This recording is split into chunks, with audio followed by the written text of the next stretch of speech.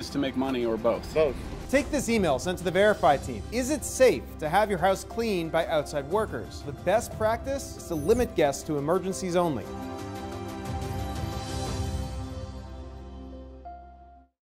We know things are changing every day, but we're here with you. Continuous COVID 19 coverage during prime time.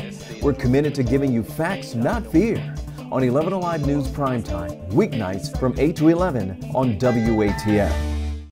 There are everyday actions to help prevent the spread of respiratory diseases. Wash your hands. Avoid close contact with people who are sick. Avoid touching your eyes, nose, and mouth. Stay home when you are sick. Cover your cough or sneeze. Clean and disinfect frequently touched objects with household cleaning spray. For more information, visit cdc.gov slash COVID-19. This message brought to you by the National Association of Broadcasters and this station.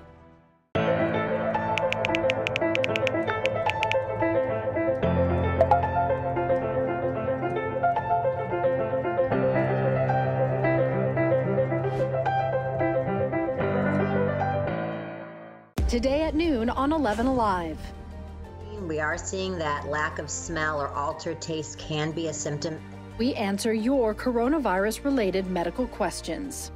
Because 11 Alive is where Atlanta speaks. Televised newscasts not enough for you? Get even more at 11 Alive's YouTube channel, where you'll find uncut interviews, extended body cam footage, live streams of Atlanta's biggest trials, and more. Subscribe to 11 Alive today.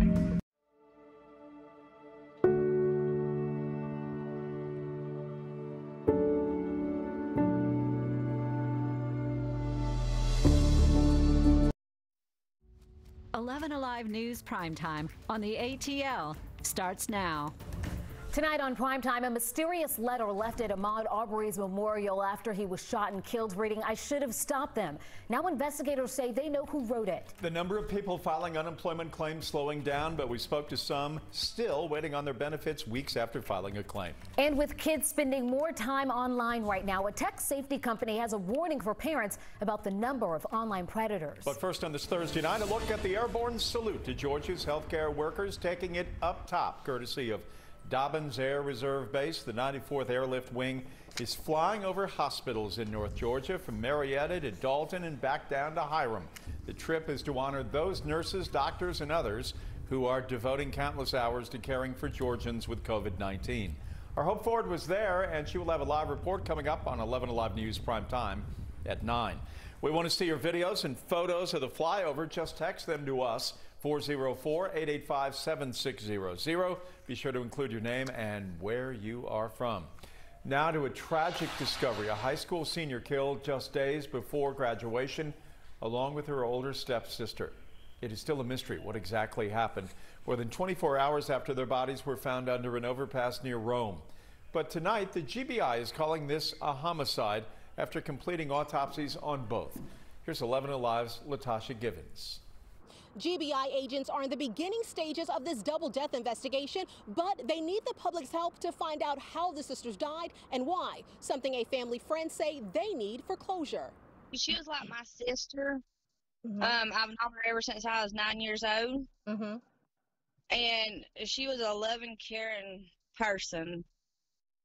Mm-hmm. And I'm just heartbroken. Kayla Dotson is mourning the tragic death of her friend, 31 year old Trevina Campbell. She says their mothers were best friends who lived in the same apartment complex as they grew up. We spoke with Dotson as she waited with the family outside the police station Thursday. Campbell and her younger stepsister's bodies were discovered Wednesday underneath an overpass near Rome. The Floyd County School District says 19 year old Vanita Vera Richardson was supposed to graduate high school next Saturday. When you found out it was her, what went through your mind? Oh, I was all in tears. Um, I couldn't I couldn't sleep hardly because me and her is really, really close. In a statement, Floyd County School says Vanita will be remembered for a fun, loving, humble, and motivated student who was making strong plans for her future. Even throughout the school closures, Vanita's passing is felt by all, in particular, the staff members whose lives she touched with her caring personality and big heart.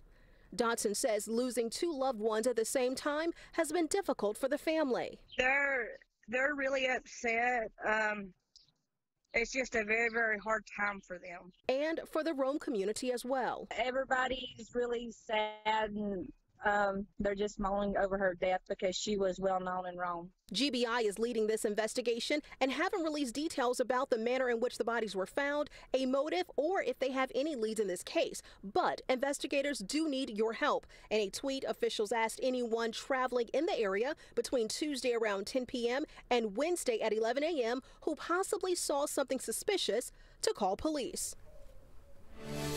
Don't rush to judgment. That is the message that we are getting tonight from the legal team representing one of the men charged with murdering Ahmaud Arbery. The 25 year old was jogging in Brunswick in February, and that's when police say he was chased down by a white father and son who shot and killed him. For months, the men remained free, but last week, a video surfaced showing the confrontation. It sparked nationwide outrage and led to the GBI taking over the case. Soon after that, the father and son were charged with murder. Our Joe Henke uh, spoke with the attorneys for the son, Travis McMichael. It's the first time we've heard from their lawyers. Travis and Gregory McMichael have spent one week in jail, and both now have defense teams working on their cases. Travis McMichael is being defended by Decatur attorneys Robert Rubin and Jason Sheffield. No matter how you look at this case, a young man has died and that is always a tragedy. Prosecutors say this cell phone video captures an unarmed Ahmaud Arbery as he jogged through a Brunswick neighborhood in February before allegedly being confronted by the McMichaels and shot by Travis. We will be presenting our evidence in a court of law. McMichael's attorneys today not discussing specifics of the case as they complete an independent investigation. We are asking everybody who's following this case, who is reading about it, who's reading about it piecemeal, who is who are forming opinions without knowing all the facts to just take a breath. Rubin's past trials include defending an Atlanta public schools principal in the seven month long APS cheating scandal trial. And here Rubin is shaking hands with Hemy Neuman, whom he defended during the 2012 Dunwoody daycare murder trial, with Neuman being found guilty. Travis's father, Gregory, now represented by Macon attorneys Franklin and Laura Hogue. The husband and wife team releasing a statement reading in part, while the death of Ahmaud Arbery is a tragedy causing deep grief to his family, a tragedy that at a first appears to many to fit into a terrible pattern in American life, this case does not fit that pattern. The full story to be revealed in time will tell the truth about this case. Franklin Hogue's past cases include representing Stephen McDaniel in 2011, who pleaded guilty to murdering and dismembering Mercer University Law School graduate Lauren Giddings. Lauren Hogue previously served as president of the Georgia Association of Criminal Defense Lawyers. A mysterious letter left at Arbery's memorial has now raised questions. Investigators say they do know who left it. The letter reads, I am so sorry I should have stopped them and made people wonder if another person could be involved in this case that we simply do not know about. But today, the GBI dispelled any rumors about that. Investigators say they have figured out who left the note. They are not connected to the case in any way. The person simply expressing their condolences. Tomorrow on Dr. Phil, Ahmaud Arbery's mother will talk about her son's murder. It's a feeling that I would never put on another mother. 3 o'clock on 11 Alive, Dr. Phil goes deeper into the case, including focusing on the man who taped the video that sparked national outrage. 3 o'clock on our sister station, 11 Alive. Let's take a look at some other stories tonight. A woman is behind bars accused of firing shots inside a car, striking her baby's father and his girlfriend. It happened late last night at the Fieldcrest Walk Apartments in Covington. Police say Delana Bailey got into an argument with Deshaun Grayson and his girlfriend, Lapisha Nash, and she tried to drive off. Bailey then allegedly fired shots at the car, hitting them both. They're both in critical condition. According to police, Bailey's 11 month old child was there when this happened but is okay. Bailey was arrested today in DeKalb County. Gwinnett County Police say a missing father and his daughter from Snellville have now been found. They say William Smith and his four-year-old daughter Brooklyn were located in Bryan County, Georgia, but the pair are heading home. The two were noticed missing when Smith, who suffers from a medical condition, wasn't home when his wife returned. Again, both have now been found. Zoo Atlanta will officially reopen to the public this Saturday at 10 a.m., but with a few changes. Starting today, guests will only be able to buy tickets online. All buildings and indoor experiences will remain closed except for the bathrooms. Masks for visitors are not required, but are strongly encouraged. So each day we're getting emails from you asking us to really break down the coronavirus numbers to give you a better sense of what we're really seeing right now, and where we stand. Tonight, we're taking a closer look at a couple of counties tonight, kicking it off with Fulton. Each bar that you see at the bottom represents a single day of new cases. We are focused on this area in the red zone that you see here. That's what we really want to take a look at tonight, indicating when we started reopening Georgia. Overall, cases seem to be leveling off in Fulton County County after a big spike happened on May 6th. We're going to be keeping a close eye on that one. But in Cobb County, we're seeing a similar trend with cases holding steady since May 6th and not really improving or declining overall. But in Clayton County, we were seeing a bit of a decline since about May 6th. If you have a question about the numbers, please go ahead and let us know. You can text us at 404 885 7600. And remember, please text, do not call.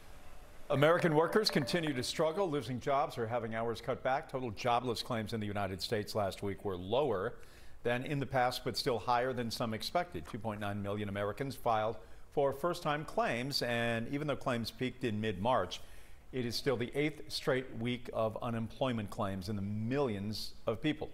We won't know until next week what the state's current unemployment rate is, but here's what we do know. Nearly a quarter million new unemployment claims were submitted just last week. The state has paid record amounts to people out of work, yet there are still people still uh, waiting for their unemployment benefits. 11 Alive's Doug Richards is looking into it. Because many businesses can't operate fully or at all because of the pandemic, they're laying off and furloughing workers in record numbers. The food service industry is the top industry that's costing people jobs. Restaurants and related industries slowed down or closed in droves over the last two months. And so it was kind of just a situation where they had to give everyone unemployment since there was nothing that we could really do. In Georgia, new claims for unemployment keep coming in each week. They peaked April 4th, then slowly dropped. In mid April, they started leveling out, fluctuating in the quarter million range each successive week. The State Labor Department has issued payments to 575,000 unemployed Georgians since the middle of March, more than the previous four years combined. Some of those claims came from the auto sales industry, which has slowed down as well. Brian Butcher filed his claim following a furlough more than a month ago, but got no response. What was frustrating is all my coworkers got their benefits starting the week after we were furloughed up until last week and I got nothing. Labor Commissioner Mark Butler says newly installed technology plus some human error has slowed down some unemployment claims. And they will most likely be approved as long as they can prove their situation. After we talked with Brian Butcher, we sent his complaint to the Department of Labor, and we learned early this afternoon that it got fixed. A small victory in a sweeping story of economic hardship. A warning for parents as kids stay home from school. A tech safety company says it is reporting more online predators. What you can do to protect your kids coming up next on Prime Time. The sun sets in about 20 minutes, and we didn't see a whole lot of the sunshine this morning. As temperatures were at 62 degrees for about five hours. The sun came out this afternoon. We got to the 80s for highs. Nine days for highs are possible down the road. I'll let you know just how hot this weekend is looking. That's coming up. Stay tuned to our channel for facts, not fear. And a spunky young anchor is entering the Atlanta news scene. You won't want to miss his special report on COVID 19 after the break.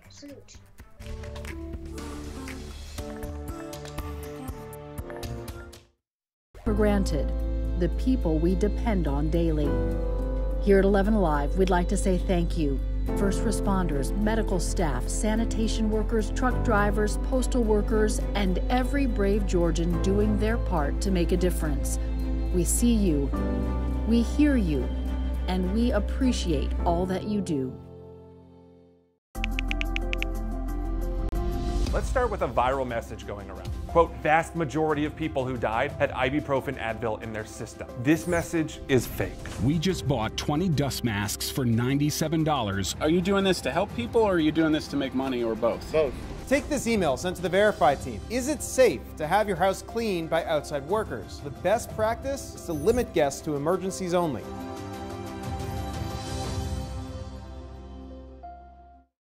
We know things are changing every day, but we're here with you. Continuous COVID 19 coverage during prime time. We're committed to giving you facts, not fear. on 11 Alive News Primetime, weeknights from 8 to 11 on WATL. There are everyday actions to help prevent the spread of respiratory diseases. Wash your hands. Avoid close contact with people who are sick. Avoid touching your eyes, nose, and mouth. Stay home when you are sick. Cover your cough or sneeze. Clean and disinfect frequently touched objects with household cleaning spray. For more information, visit cdc.gov slash COVID-19. This message brought to you by the National Association of Broadcasters and this station.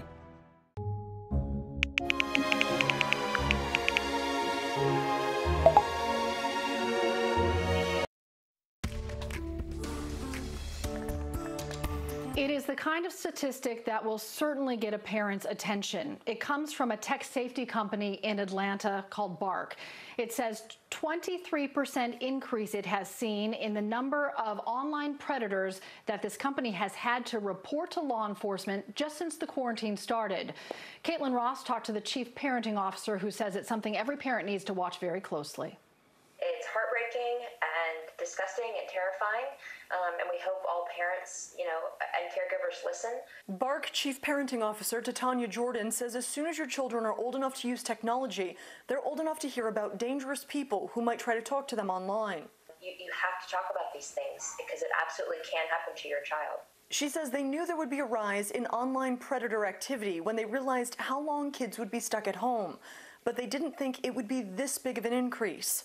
Their data is supported by a recent alert by the FBI warning parents to be vigilant about screen time. Their schedules are off. They don't all have to be up and on a bus, you know, by 6 a.m. Bark uses technology to monitor messages sent to kids' devices, and Jordan says they're watching predators take advantage of the uncertainty during COVID 19. Predators know that children are anxious, miss their friends, they are lonely. She says online predators also know that some families are struggling financially right now. A lot of games require upgrades and coins and that sort of thing, and if the economy being what it is and things are tight, that could be another tactic they use to send financial gifts and coins for upgrades. But she says that doesn't mean your kids have to be vulnerable. We as parents can do something about it. We can talk to our kids, we can let them know that if they bring something to us, our first action isn't going to be to take away their access. They're not going to surface something if they think they're going to lose their ability to play games or talk with their friends. Titania says the best way to talk to your kids about this is just to be direct. Let them know there are dangerous people out there, but you're always a resource for them if they need someone to talk to. Yeah, that's a conversation we've had to have with our kids. They're spending so much more time online because of digital learning. So, what's the advice for that? Should they spend less time doing that? No, but she does want parents to monitor where their kids are spending time online. So, if it's a game, make sure you take advantage of those free parental controls. If there's a chat function, make sure you know who your kids are talking to.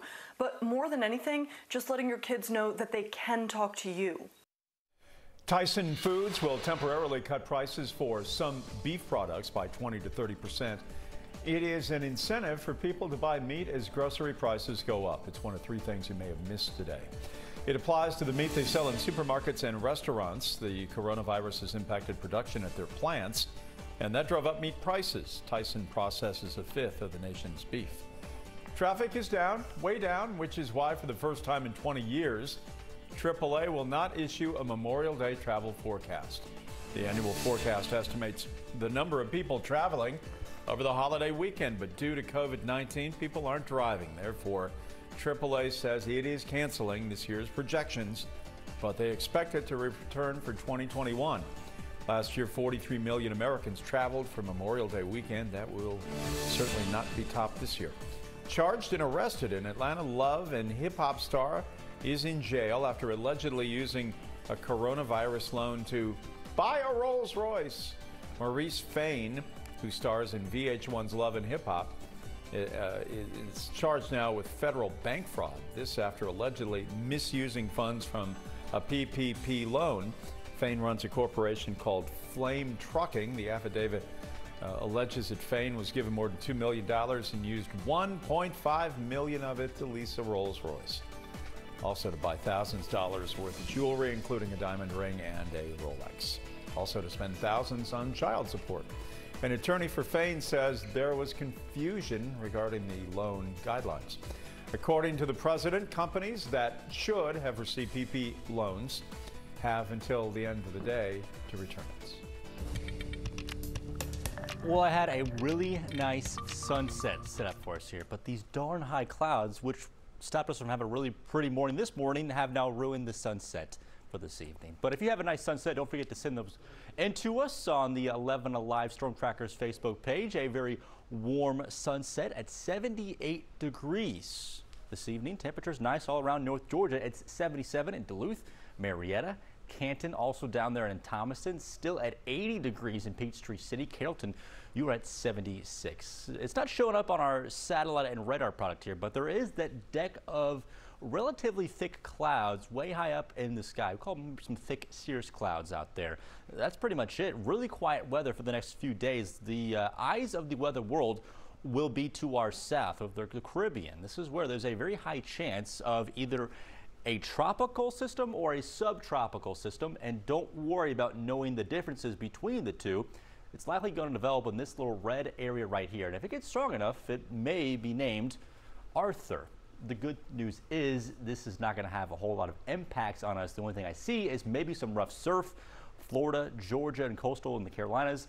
This thing is going to get it out to the northeast. It may actually give us a little bit of moisture to work with for a cold front that's set to come through next week and a little bit of moisture to feel a little muggy outside for this weekend as we're going to be underneath a hot pattern. Temperatures approaching 90 degrees this weekend. A cold front should come through on Monday.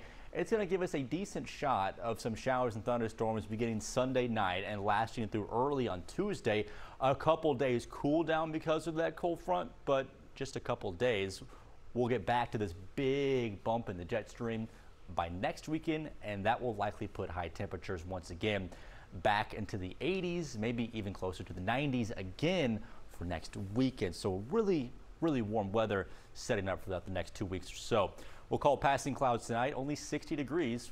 It's very comfortable overnight lows. Highs tomorrow will range from the 70s in the mountains or 79 in Gainesville to the middle 80s. Eaton 10 yard 84. LaGrange are also at 84. 80 in Carrollton. I'm putting us at 83 for a high temperature here in Atlanta. And it'll start off cloudy tomorrow morning, but we'll have more sunshine in the afternoon. Kind of similar to what we dealt with today. A 9 on the wasometer. That's our scale from 1 to 11, where 11 is a perfectly seasonally average day. Here's your seven day forecast. We're in the upper 80s for Saturday. That's when we're near 90 by Sunday. In fact, if we see a decent amount of sunshine, the more what it looks like right now, we could get into the lower 90s on Sunday. Better bet of that occurring to the south of us in central Georgia. A 40% chance of rain on Monday. We're back in the 70s Tuesday and Wednesday. Well, there is uh, a number of young people that are aspiring toward jobs in professions they long to be a part of. Meet sixth grader Joshua Cornett, broadcasting from Duluth with the very latest on COVID 19. He is embracing our 11 Alive slogan. Smart kid here. Stay tuned to our channel for facts, not fear. Stay at home, Duluth! Today's date is April 2nd, and my name is Joshua Cornett with Channel 12 News. Governor Kemp issued a stay-at-home order for all Georgians today. What does that mean? It means stay at home, not go out. And remember, even apart, we are all in this together. Now, let's check in with JC for a sports update. Yeah, there are still no sports.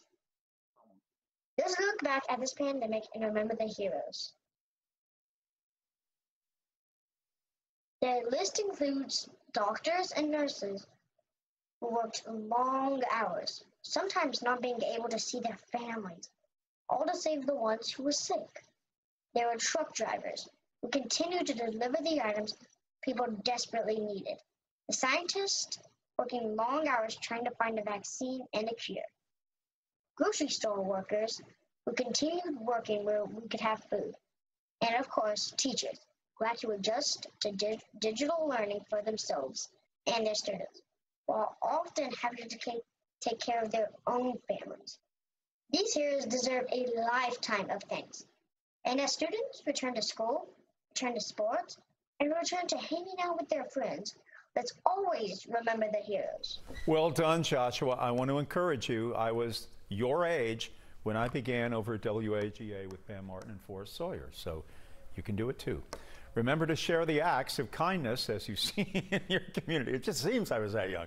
You can share them on Twitter using the hashtag SendTheLoveATL. Still ahead, some high school seniors having to cope with the fact that a traditional graduation may not happen for them. Well, they're getting a very special way to commemorate this occasion from a local photographer, making sure that this milestone doesn't go unnoticed or undocumented. By outside workers. The best practice is to limit guests to emergencies only.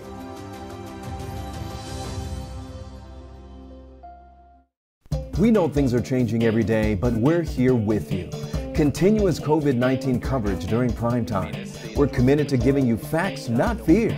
On 11 Alive News Prime Time, weeknights from 8 to 11 on WATL. There are everyday actions to help prevent the spread of respiratory diseases. Wash your hands. Avoid close contact with people who are sick. Avoid touching your eyes, nose, and mouth. Stay home when you are sick. Cover your cough or sneeze. Clean and disinfect frequently touched objects with household cleaning spray. For more information, visit cdc.gov slash COVID-19. This message brought to you by the National Association of Broadcasters and this station.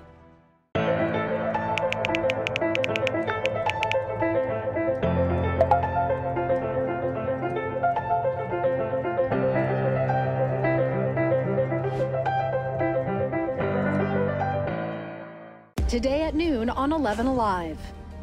We are seeing that lack of smell or altered taste can be a symptom. We answer your coronavirus related medical questions. Because 11 Alive is where Atlanta speaks. Televised newscasts not enough for you? Get even more at 11 Alive's YouTube channel, where you'll find uncut interviews, extended body cam footage, live streams of Atlanta's biggest trials, and more. Subscribe to 11 Alive today.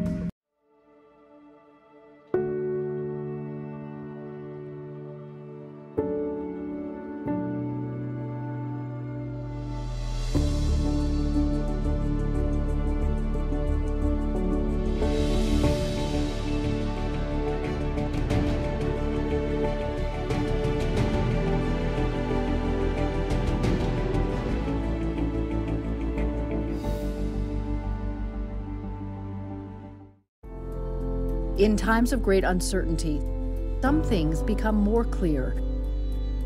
The things we take for granted, the people we depend on daily. Here at 11 Alive, we'd like to say thank you. First responders, medical staff, sanitation workers, truck drivers, postal workers, and every brave Georgian doing their meant to be a time of celebration for high school seniors with graduations and so much more. But the, coronavir uh, the coronavirus, of course, has changed all of that. But as Liza Lucas shares, one woman is using her camera to make sure grads still get to document a special moment in their cap and gowns. I happened to turn the camera around and didn't see it until I saw it through the lens, and it took me back. This just shows what they're going through. A cap and gown may be the tradition, but a mask marks the new normal for graduating seniors like Yafet Abraham. Learning students may not get their chance to walk across the stage. Louise Dolman wanted to help. I'm a self employed hairdresser and I'm out of work. After doing all the projects I could find at the house, I got bored. One of my clients called me and asked me to take her daughter Skylar's pictures. All of a sudden, people just started calling me and I'm just doing these kids' photo shoots, and I love it. The photos capturing the smiles and commemorating students' achievement with confetti. And yet, the reason for the pictures bittersweet. Like, this is something I've been looking forward to for years, but now I don't really get to do it. You've been waiting for this for so long, and for it to be like taken away from you, it's just, it doesn't feel real. But you know, you just got to stay positive. Louise hopes the photos will give students something to hold on to. I think I'll be glad that I actually got pictures in my cap and gown. Like, even if I'm not walking, I have some cool pictures to actually look at and remember.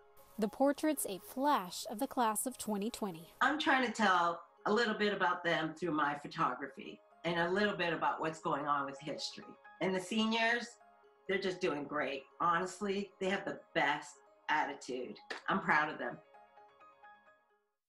As 11 Alive is where Atlanta speaks. Televised newscasts not enough for you? Get even more at 11 Alive's YouTube channel, where you'll find uncut interviews, extended body cam footage, live streams of Atlanta's biggest trials, and more. Subscribe to 11 Alive today.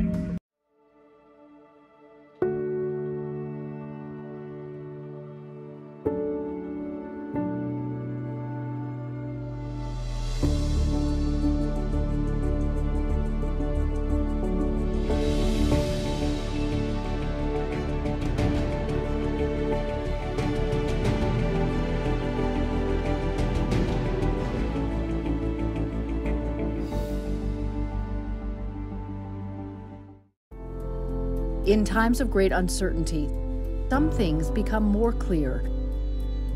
The things we take for granted, the people we depend on daily. Here at 11 Alive, we'd like to say thank you. First responders, medical staff, sanitation workers, truck drivers, postal workers, and every brave Georgian doing their part to make a difference. We see you, we hear you, and we appreciate all that you do. Start with a viral message going around. Quote, vast majority of people who died had ibuprofen Advil in their system. This message is fake. We just bought 20 dust masks for $97. Are you doing this to help people or are you doing this to make money or both? Both. Take this email sent to the Verify team. Is it safe to have your house cleaned by outside workers? The best practice is to limit guests to emergencies only.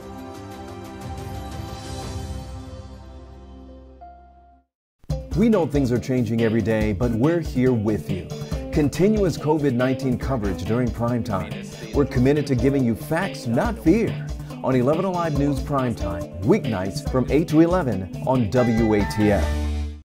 There are everyday actions to help prevent the spread of respiratory diseases. Wash your hands.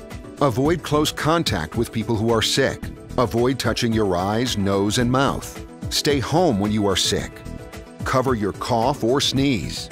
Clean and disinfect frequently touched objects with household cleaning spray. For more information, visit cdc.gov/covid19. This message brought to you by the National Association of Broadcasters and this station.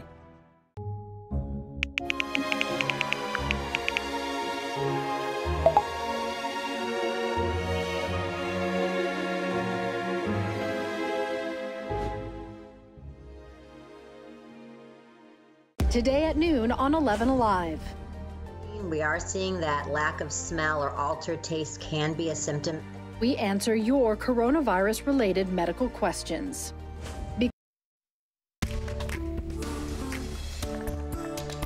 Tonight, we are looking into the history of the police department that responded to the shooting of Ahmaud Arbery but did not make any arrests. Arbery, the young African American man, was shot and killed while jogging in February. Police say he was chased down by Travis and Gregory McMichael, father and son, who are white. Prosecutors allegedly had this video for weeks. It was not until it was released to the public last week that the GBI got involved and the father and son were charged and jailed with murder. William Roddy Bryan, who recorded the video, has not been charged. His attorney previously said he showed the video immediately to police and was just a witness. The Glynn County Police Department responded to the Arbery shooting in documents, uh, and it shows that it is a department with a troubling past. A grand jury once described the department as having an ongoing culture of cover up. Faith Abubey uncovered years of details about the department. The first time Ahmaud Arbery's mother learned someone had killed her son, it was the Glynn County police officer on the other end of her cell phone. He went on to say that Ahmaud had been involved in a burglary. And in the midst of the burglary, Ahmaud was confronted by the homeowner. And during that confrontation, there was a, a tussle over the handgun, and Ahmaud was shot and killed.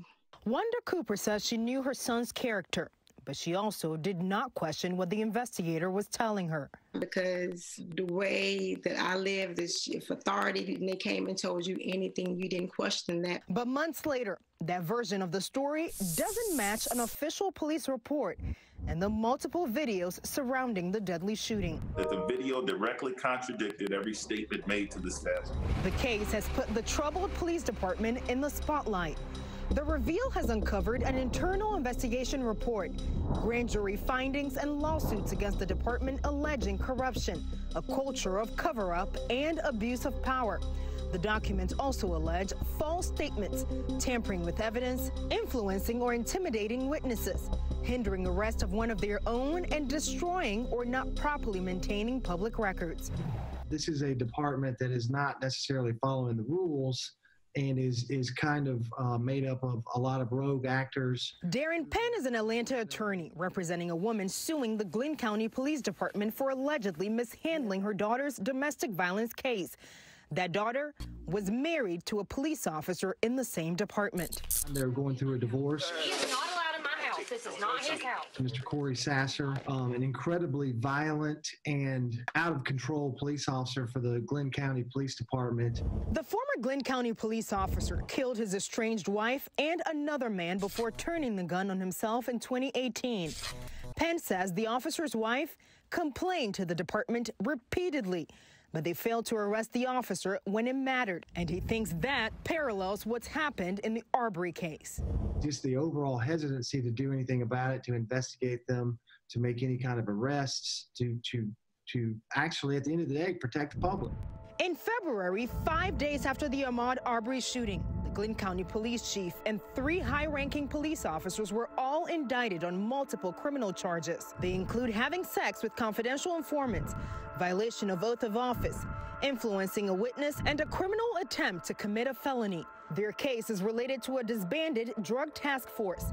A grand jury report also concluded, quote, there is an ongoing culture of cover up, failure to supervise, abuse of power, and lack of accountability within the administration of the Glynn County Police Department. It paints a very troubling uh, picture uh, of a police department that is not following procedures. The department now has a new interim chief, and its former officer and DA investigator Gregory McMichael is now facing murder charges with his son, Travis McMichael. Justice for all. Public outcry has pushed the Arbery case into new hands those of a special prosecutor in Cobb County, the DOJ, and the GBI. And we are hopeful that that investigation will actually do a lot more than the original investigation to uncover the truth. Reached out to the police department and the county manager about these findings, and they have not responded. With continuing shortages of face masks and face shields for our dedicated healthcare professionals, urgent calls have gone out for supplies. And when the Paulding County Chamber of Commerce learned about the need, they acted quickly. And as Bill Liss found, the results have been overwhelming. Within hours of getting the call from the Wellstar Hospital in Paulding County that face shields were in short supply, the County Chamber of Commerce got right to work. The race was on to produce 3D face shields for the medical teams focusing on COVID 19. The first step was get a supply of 3D machines. The Chamber got 22. The next step, get volunteers. We had approximately 40 volunteers. Uh, we trained those volunteers by a pay it forward routine. We had the process down so fine that uh, we actually had some uh, young adults and some children that were able to come in and, and work for us also. Volunteers worked in shifts around the clock at chamber headquarters to turn out the face shields, and they're still at it, already turning out more than 3,200 face shields, and they have plans to keep up the effort. 2,500 of those will be distributed to Wellstar Paulding Hospital. We also have been um, asked to produce some for our local health department, some of our home health care agencies, as well as some other entities throughout our county. What brings it all together are the Paulding County volunteers. They are dedicated and they're determined. One of them is Gary Jones. We want to be able to make some of these safety shields for our healthcare workers so they can continue uh, their part in what they do. And that's, of course, helping other people uh, get well. And that's an awesome feeling. Jones has his own 3D machine at home, and he continues making the shields each night after he leaves the chamber workshop. The Paulding County Chamber of Commerce says it looks forward to other counties in Georgia reaching out to them for help in setting up similar face shield efforts for healthcare professionals working around the clock to treat COVID-19 patients. Major League Soccer trying to figure out a plan to save and start the season, which may have the players quarantined in a place like Disney in Orlando. Alex Glaze tells us what the players think about possibly having to play.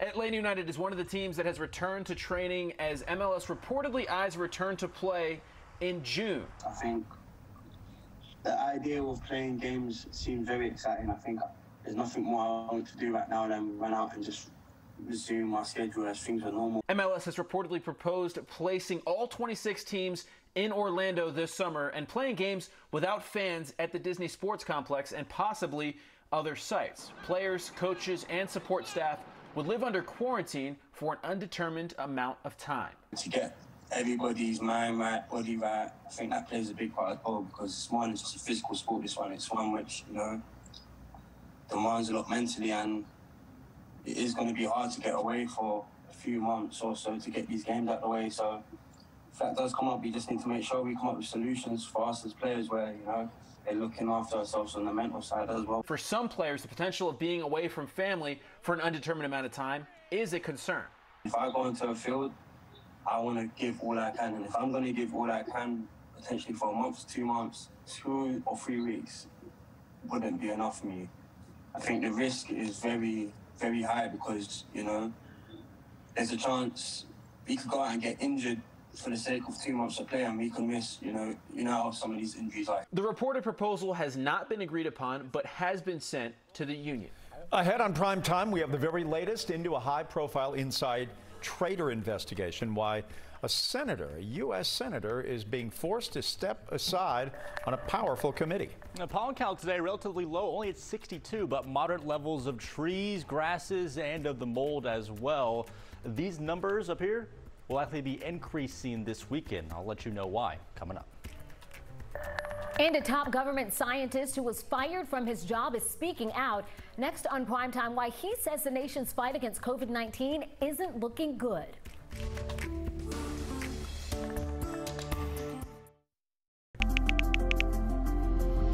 Let's start with a viral message going around. Quote, vast majority of people who died had ibuprofen Advil in their system. This message is fake. We just bought 20 dust masks for $97. Are you doing this to help people or are you doing this to make money or both? Both.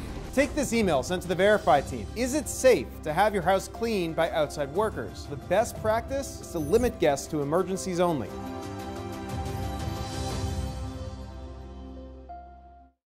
We know things are changing every day, but we're here with you. Continuous COVID 19 coverage during prime time. We're committed to giving you facts, not fear.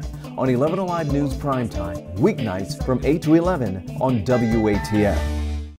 There are everyday actions to help prevent the spread of respiratory diseases. Wash your hands. Avoid close contact with people who are sick. Avoid touching your eyes, nose, and mouth. Stay home when you are sick. Cover your cough or sneeze.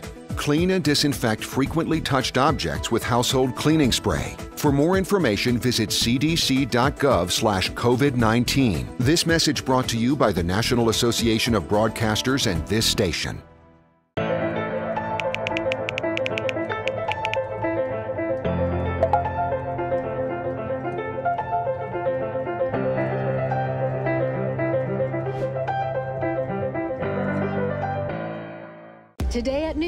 11 Alive.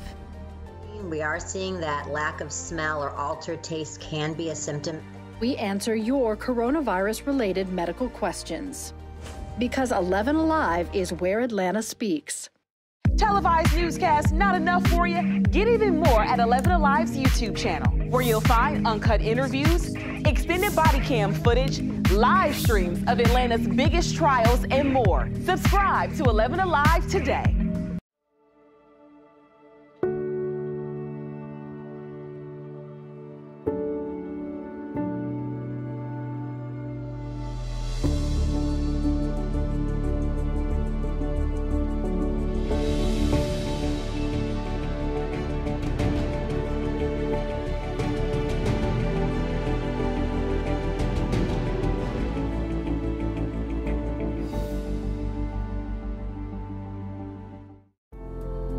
In times of great uncertainty, some things become more clear. The things we take for granted, the people we depend on daily. Here at 11 Alive, we'd like to say thank you. First responders, medical staff, sanitation workers, truck drivers, postal workers, and every brave Georgian doing their part to make a difference. We see you, we hear you, and we appreciate all that you do.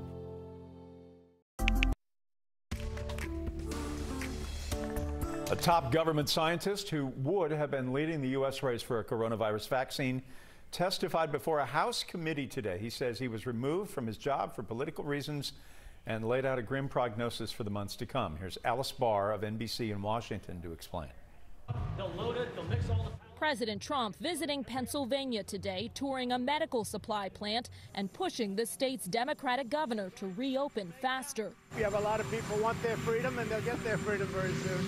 While on Capitol Hill, an ousted whistleblower, Dr. Rick Bright, told a House committee the Trump administration ignored his dire early warnings in a slow response to the coronavirus crisis. Without better planning, 2020 could be the darkest winter in modern history. But time is running out because the virus is still spreading everywhere.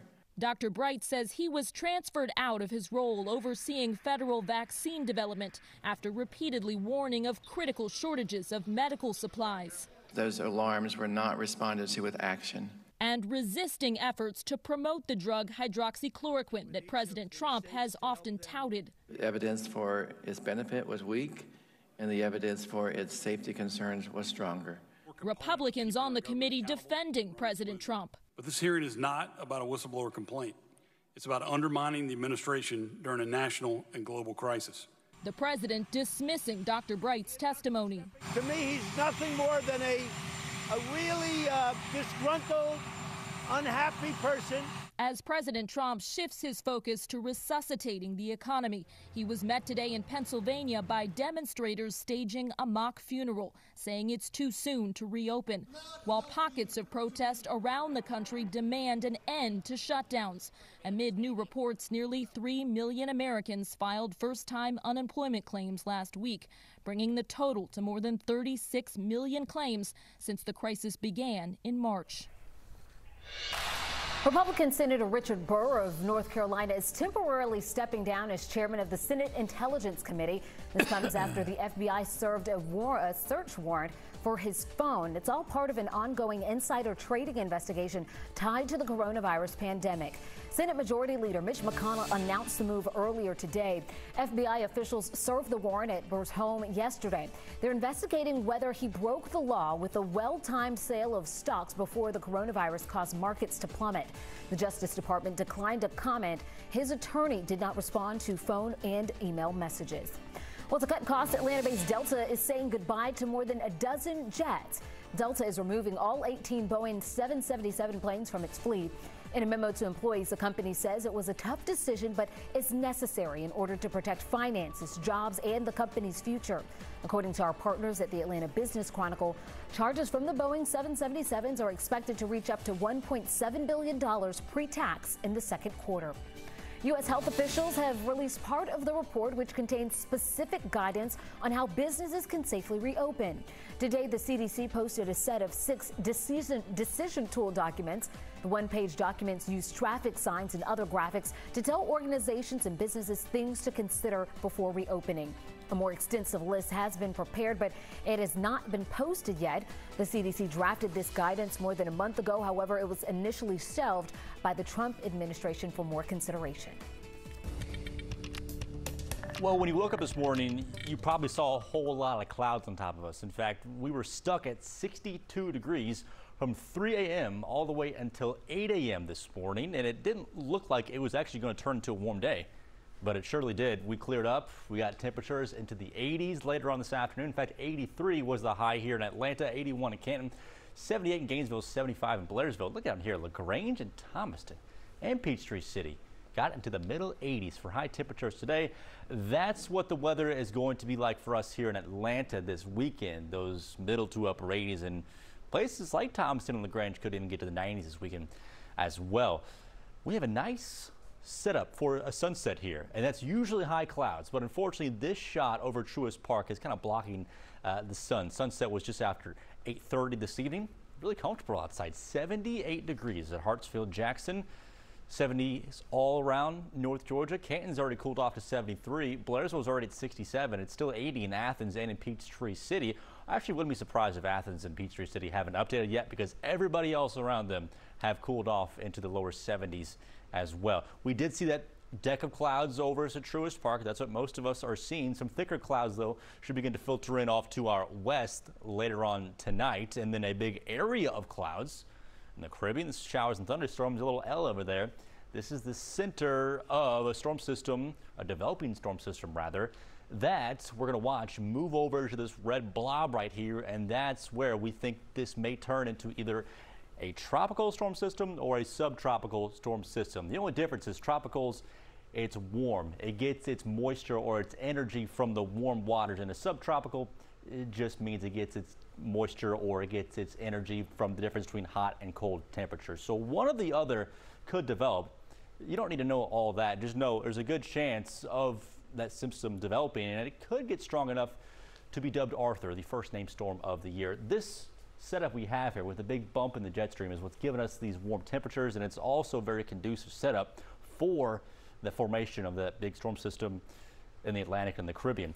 This jet stream is going to take that storm out to sea, but it may provide a higher uh, chance for some rip currents, rip tides, or maybe even some strong winds in coastal Georgia, Florida, and the Carolinas, depending on how close this thing gets. But for the most part, we're going to be hot and muggy this weekend with the help of some of that moisture from that storm system. A cold front will come through on Monday. It'll chop off a lot of this humidity and a lot of the warm weather, bring us some showers and thunderstorms maybe as late as Sunday night through early in the day on Tuesday. It'll also bring us a couple days of relief with cooler temperatures from Tuesday into Wednesday. However, Thursday and onward, we'll see this big bump move on top of us over again in the southeastern United States, and that means highs will be back into the upper 80s, maybe even into the lower 90s next weekend. So this weekend and next weekend are going to be rather warm, unseasonably warm at that. But this is very seasonally average, 60 and comfortable for an overnight low with those cl uh, passing clouds. 83 from a forecasted high temperature here in Atlanta. Same thing in Thomaston, Peachtree City, LaGrange, Eatonton. You're getting to 84, I think, for a high in the 70s in the mountains 80 for a forecasted high temperature in Duluth. I'll give it a 9 on the wasometer. It's a scale from 1 to 11, where 11 is a perfectly seasonally average day. Had to knock it down a couple because of the clouds and the warm temperatures. 89 for a high on Sunday. 20% chance of rain mainly in the evening. There's the decent shot of some showers and thunderstorms on Monday. We'll cool off to the 70s for a couple days Tuesday and Wednesday. And then we're back in the 80s by Thursday. Even further than that, we may get near 90 into next weekend.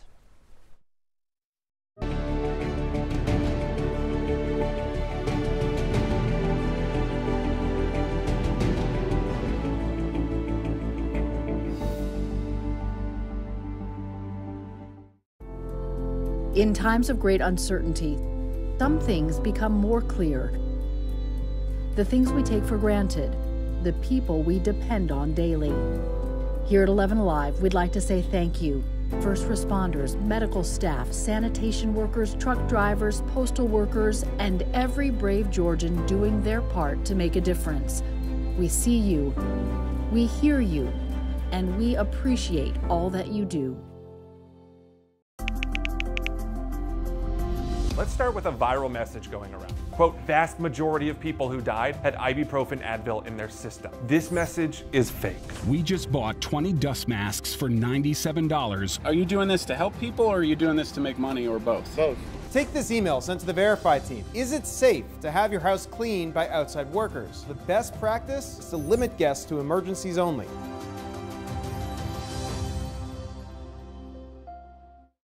We know things are changing every day, but we're here with you. Continuous COVID 19 coverage during prime time. We're committed to giving you facts, not fear. On 11 Alive News Prime Time, weeknights from 8 to 11 on WATL. There are everyday actions to help prevent the spread of respiratory diseases. Wash your hands. Avoid close contact with people who are sick. Avoid touching your eyes, nose, and mouth. Stay home when you are sick. Cover your cough or sneeze. Clean and disinfect frequently touched objects with household cleaning spray. For more information, visit cdc.gov/covid19. This message brought to you by the National Association of Broadcasters and this station.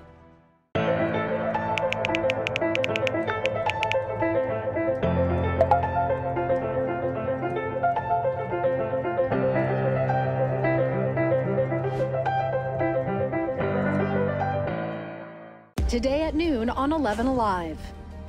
We are seeing that lack of smell or altered taste can be a symptom. We answer your coronavirus related medical questions. Because 11 Alive is where Atlanta speaks. Televised newscasts not enough for you? Get even more at 11 Alive's YouTube channel, where you'll find uncut interviews, extended body cam footage, live streams of Atlanta's biggest trials, and more. Subscribe to 11 Alive today.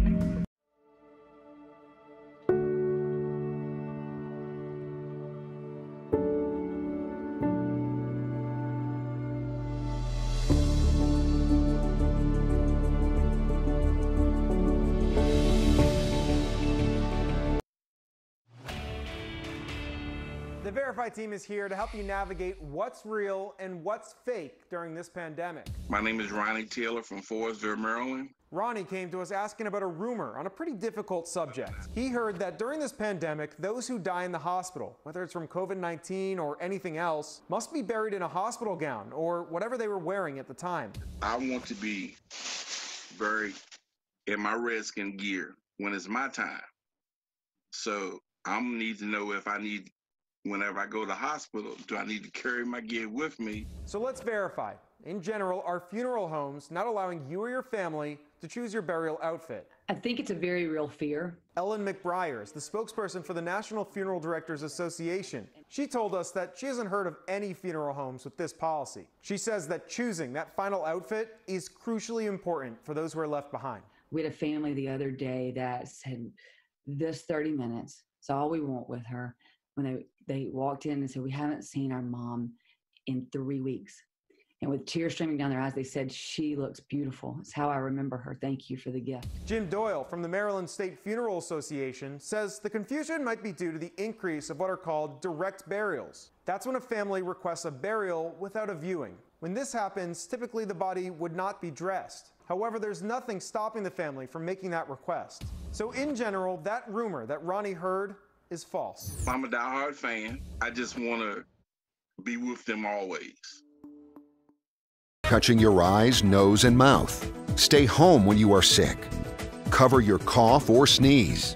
Clean and disinfect frequently touched objects with household cleaning spray. For more information, visit cdc.gov slash COVID-19. This message brought to you by the National Association of Broadcasters and this station.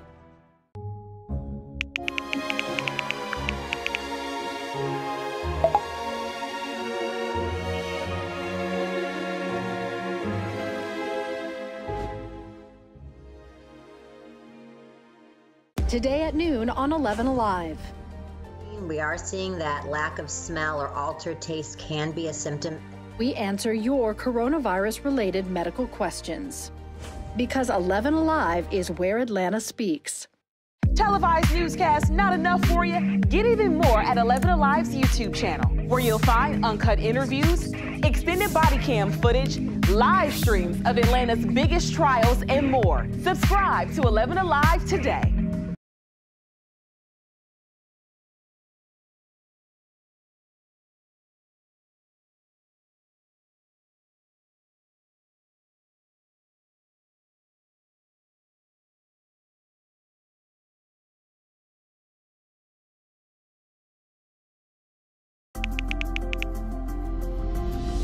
With a viral message going around. Quote, vast majority of people who died had ibuprofen Advil in their system. This message is fake. We just bought 20 dust masks for $97. Are you doing this to help people or are you doing this to make money or both? Both. Take this email sent to the Verify team. Is it safe to have your house cleaned by outside workers? The best practice is to limit guests to emergencies only.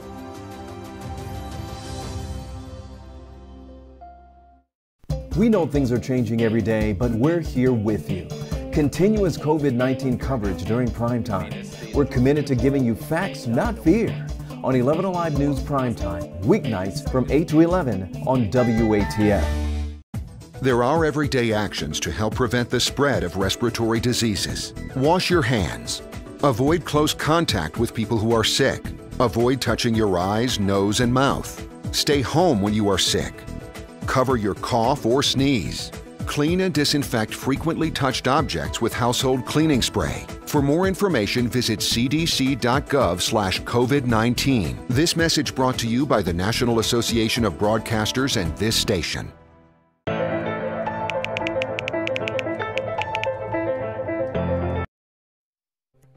NASCAR has made more of its race schedule official, and that includes a race weekend at Atlanta Motor Speedway in Hampton on June 6th and 7th. At long last, we're going to see the real deal. And in addition to the Cup race, there will be a truck and Xfinity race that weekend as well. Of course, it's all closed fans. Track has been shut down since March. The week the Folds of Honor 500 was originally scheduled, but the track says they are ready and they have received the okay from Governor Kemp. They will sanitize and they will work to ensure everybody is safe. While the process has taken longer than we would have anticipated, we certainly understand all of the steps that have been taken to, to make sure that not only we can go racing, but that we can do so in a safe environment for the, the essential staff that will be here and for the community. The Falcons' virtual offseason continues, but that's starting to raise some questions for assistant coaches like Dirk Koetter. Falcons offensive coordinator admitted today he is not sure what new running back Todd Gurley's health is. He is not sure. For the past few seasons, Gurley, as you know, has battled a knee injury. It's reduced his workload, hasn't looked like the running back we remembered in Athens. Meanwhile, Koetter knows Gurley's value, and he has questions. The main question is that, that no one seems to know is, you know, what's his what's his health status, you know, and what what's his workload. You know, we'll just see. But I mean, you can't you can't deny his his talent and what he's already done in this league. The question is, is uh, his health. But you sign him to a big deal like that, and then you're still not sure if he is set and ready to go. Very interesting. 11 Alive News Primetime on the ATL starts now. The facts will come out. All of the facts will come out. Right now in prime time, a message for the public from attorneys representing one of the men charged for Ahmaud Arbery's murder. A look into their courtroom history as more details emerge about the case. We can't know the progress in the fight against COVID 19 without wading through a sea of numbers we put into context for you and answer your questions about where Georgia stands tonight. And check out the mighty C-130 Hercules from Dobbins Air Reserve Base, honoring Georgia's frontline healthcare workers. The flyover traveled all the way up to Dalton before passing over hospitals in Rome, Cartersville, and Hiram. Hope Ford got a first-hand look at all the action. From the runway to the sky.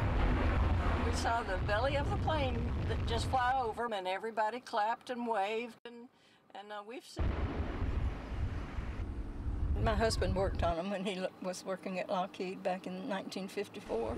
I'm glad they're still flying after all this time. The two C-130H-3 planes took off with an important mission to thank him, thank her, thank all of them for their work during the pandemic. These healthcare workers witnessed the air salute, which lasted for a total of 10 seconds above their heads. Feels nice to be appreciated. It does. Yeah. Absolutely. It's been an emotional and tough few months as they battle COVID 19. If you work with good people, then it's easy to get through. Yep. So. Aww. That's true. That's the only thing that keeps us alive is our friends at work. So. And just as fast as the planes came, they were gone, and it was time for these heroes to head back to their own mission. Just wear the mask every day, and that's what gets old. But um, you just got to do what you got to do and take care of everybody. And I'm standing on top of the blue tower deck at Kennestone Hospital over Kennesaw, where the planes flew over that building and right over this building, too, uh, just a few hours earlier this evening.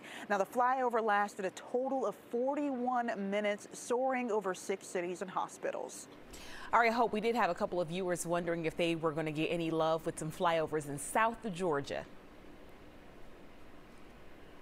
Yeah, they're definitely going to get some love. The Georgia Guard is going to fly over nine hospitals tomorrow morning. We have all of those locations. You can find that on my Facebook page. Just search my name, Hope Ford, and you'll be able to find all of those uh, nine locations they'll be flying over tomorrow. All right, thank you so much, Hope Ford. Beautiful shot tonight.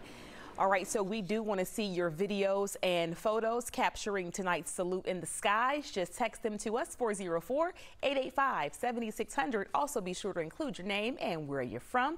We're also putting together a gallery of your best photos on our website, 11alive.com. In spreading the virus, Hall County had been a hotspot with the coronavirus outbreak among poultry plant workers. Uh, most recently, the county is reporting fewer new cases. The governor will tour Farmdale Fields on his visit tomorrow.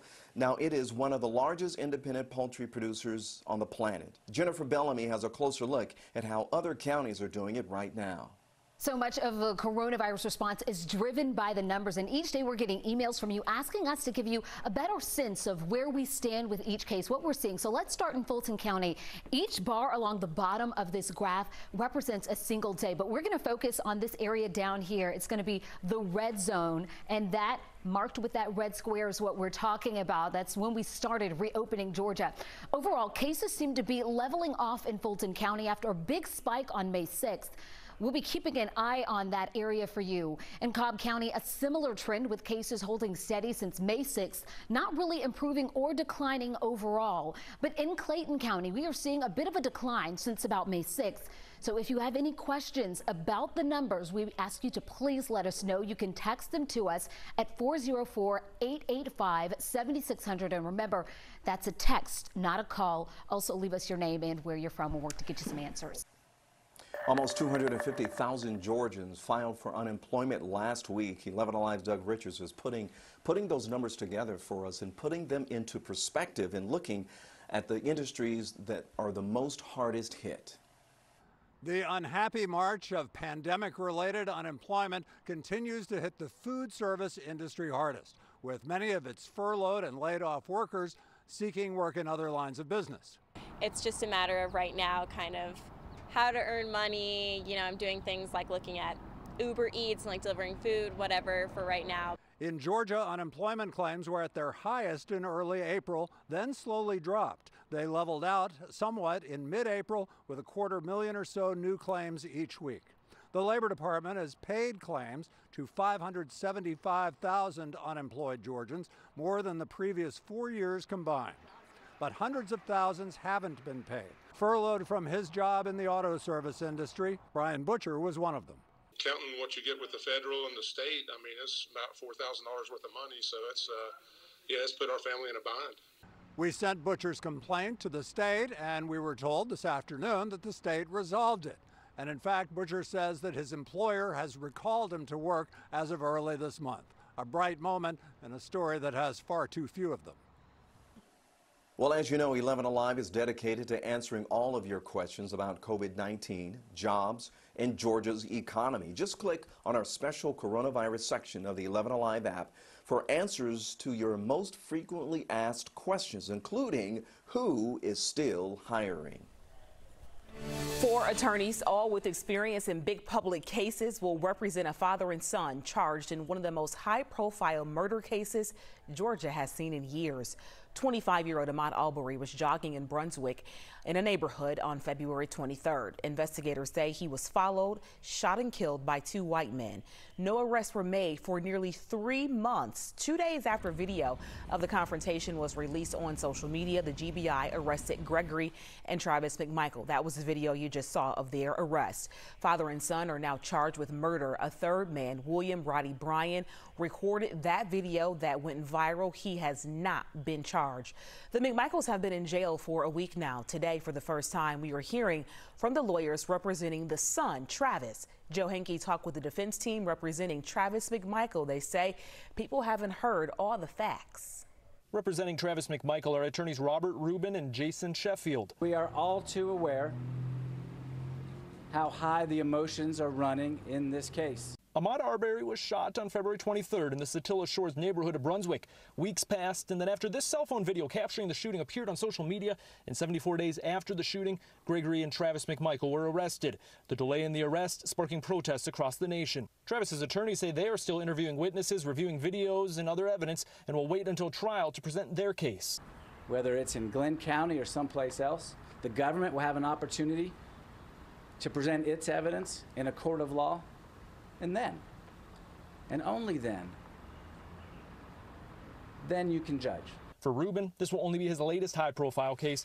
His past cases include defending an Atlanta public school principal in the seven month long APS cheating scandal trial and Hemy Neuman in the 2012 Dunwoody daycare murder, where Neuman was found guilty. His latest client, Travis McMichael, made this 911 call less than two weeks before Arbery's death. I was leaving the neighborhood and I just called a guy running into a um, house being built. An attorney for the owner of the home in question shared this video with 11 Alive showing an unidentified man in the home on February 11th. But we've been having a lot of burglaries and break-ins around here lately, and uh, and uh, I had a pistol stolen January 1st actually, and uh, you know he, he's I've never seen this guy before. A Glynn County police report shows police responded on February 11th but did not find the man.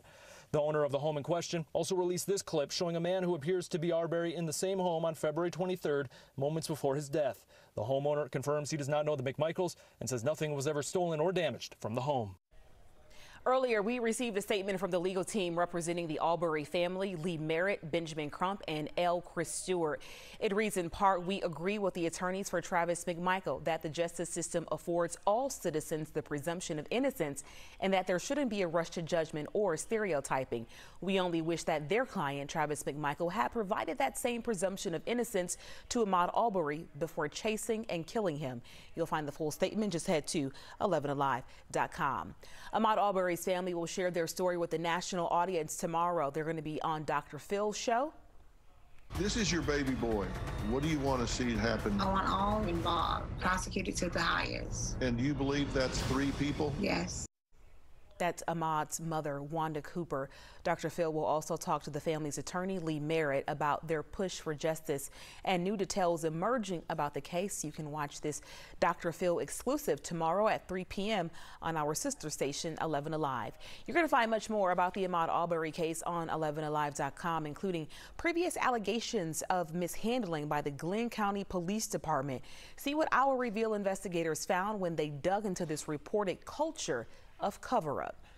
A warning for parents as kids stay home from school. A tech safety company says it is reporting more online predators. What you can do to protect your children next on Primetime. Your 11 Alive Storm Trackers watching some more of those clouds rolling in tonight here in twilight time. Looking out over the battery where some of the businesses are open for business. So coming up, the weather you can expect the next few days and when we could see the hottest day of the year so far. All right, Sam, we'll see you in a couple of minutes. Zoo Atlanta will officially reopen to the public this Saturday at 10 a.m. with a, a few changes starting today. Guests will only be able to buy tickets online. All building and indoor experiences will remain closed except for restrooms, of, or restrooms, of course. Masks for visitors are not required but strongly encouraged.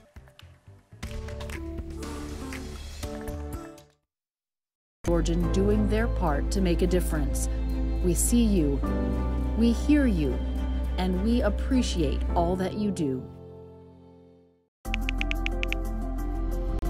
Let's start with a viral message going around. Quote, vast majority of people who died had ibuprofen Advil in their system. This message is fake.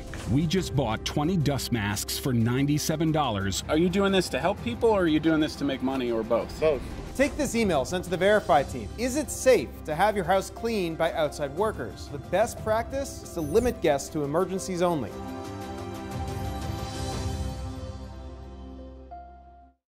We know things are changing every day, but we're here with you. Continuous COVID 19 coverage during prime time. We're committed to giving you facts, not fear. On 11 Alive News Prime Time, weeknights from 8 to 11 on WATL. There are everyday actions to help prevent the spread of respiratory diseases. Wash your hands. Avoid close contact with people who are sick. Avoid touching your eyes, nose, and mouth. Stay home when you are sick. Cover your cough or sneeze. Clean and disinfect frequently touched objects with household cleaning spray. For more information, visit cdc.gov slash COVID-19. This message brought to you by the National Association of Broadcasters and this station.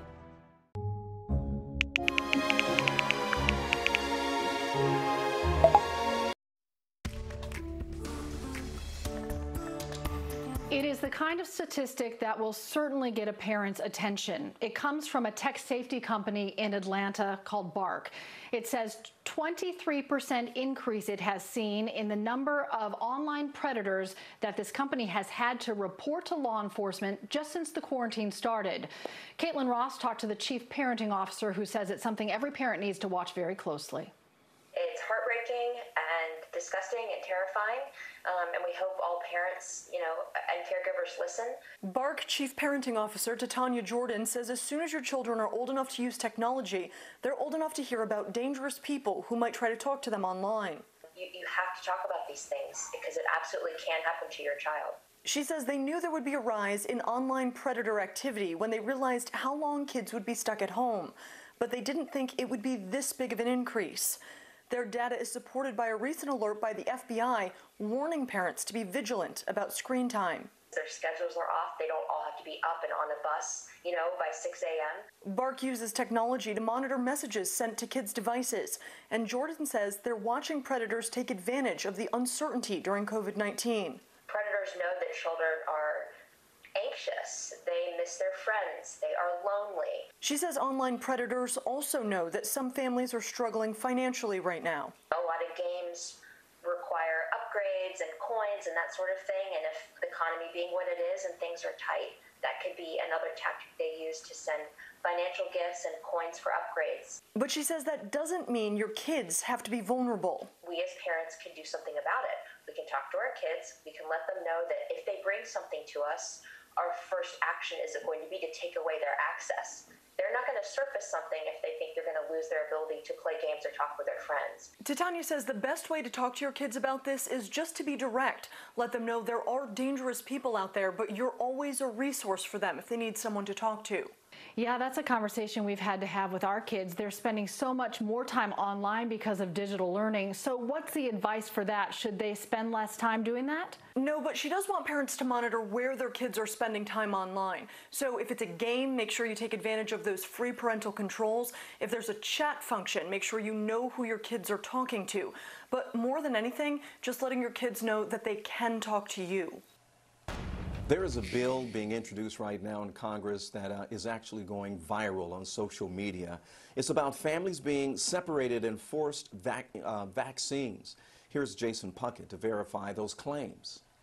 Many of you sent us claims about HR 6666 and pointed us to some viral videos. There are multiple out there, but they all share a common claim. Basically, this act is to allow individuals to come into your house and if you've got a cough, they're going to use that to pull you or your loved ones, especially your children, away under pretense of public safety. This claim is also repeated in a change.org petition calling for the bill to be removed. So we're verifying. Does H.R. 6666 require at-home testing and authorize forced quarantines? That claim is false, and we're going straight to the source. The bill's creator, Representative Bobby Rush of Illinois, said the bill does not authorize anyone to enter your home or remove anyone because of the coronavirus. We're also going to look at the bill itself. This bill isn't hundreds of pages of legal jargon, it's five pages front to back and I strongly recommend you read it. It's called the Testing, Reaching, and Contacting Everyone Act, or TRACE Act. If passed, the only power it would give the government is letting the Secretary of Health and Human Services give financial grants. There's no language about mandatory testing or forced quarantines period. With Rep. Rush's statement and the text of the bill backing him up, we can verify the claims H.R. 6666 allows forced testing and quarantine are false. Also, a few of you asked us about the number. 6666 includes the biblical number of the beast, but that's just an unfortunate coincidence. The U.S. Government Publishing Office confirms that bills are numbered, quote, in the order in which they are introduced. So it was simply the 6,666th bill introduced in the House. Got other questions for us? Send us an email. May is meant to be a time of celebration for high school seniors with graduations, prom, all that fun stuff, right? But we know coronavirus changed everything. As Liza Lucas shares, one woman is using her camera to make sure grads still get a documented moment in that cap and gown. I happened to turn the camera around and didn't see it until I saw it through the lens, and it took me back. this just shows what they're going through. A cap and gown may be the tradition, but a mask marks the new normal for graduating seniors like Yafet Abraham. Learning students may not get their chance to walk across the stage. Louise Dolman wanted to help. I'm a self-employed hairdresser and I'm out of work. After doing all the projects I could find at the house, I got bored. One of my clients called me and asked me to take her daughter Skylar's pictures. All of a sudden, people just started calling me and I'm just doing these kids photo shoots and I love it. The photos capturing the smiles and commemorating students' achievement with confetti. And yet the reason for the pictures, bittersweet. Like this is something I've been looking forward to for years, but now I don't really get to do it. You've been waiting for this for so long and for it to be like taken away from you, it's just it doesn't feel real. But you know, you just gotta stay positive. Louise hopes the photos will give students something to hold on to. I think I'll be glad that I actually got pictures of my tap and gown. Like, even if I'm not walking, I have some cool pictures to actually look at and remember. The portrait's a flash of the class of 2020. I'm trying to tell a little bit about them through my photography and a little bit about what's going on with history. And the seniors, they're just doing great. Honestly, they have the best attitude. I'm proud of them.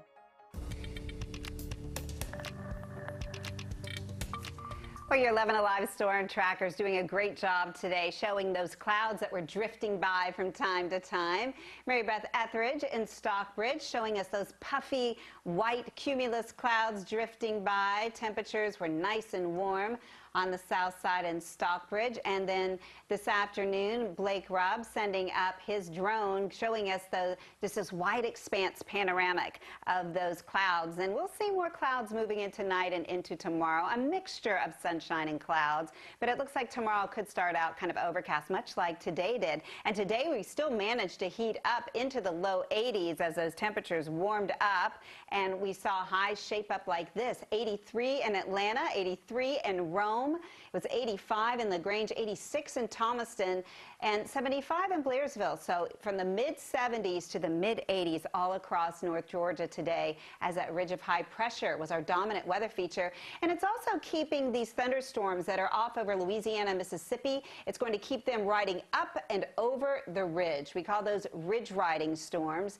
And we have these clouds that are going to be coming in, kind of washing over the ridge a little bit. So it will be a little cloudy to start again tomorrow, but I think we'll see enough sunshine to warm it up even a little warmer than it was today, perhaps. So another thing we're watching as we head towards the weekend is going to be this area of low pressure. It's already developed here south of the Florida Keys. We expect it to continue to strengthen, and the National Hurricane Center now giving it an a 70% chance in the next two days of developing into a tropical system or a subtropical system, meaning a, a, a, a, tropical system would have warm core characteristics, subtropical would just have some more extratropical type of characteristics, and it would have cool parts and warm parts.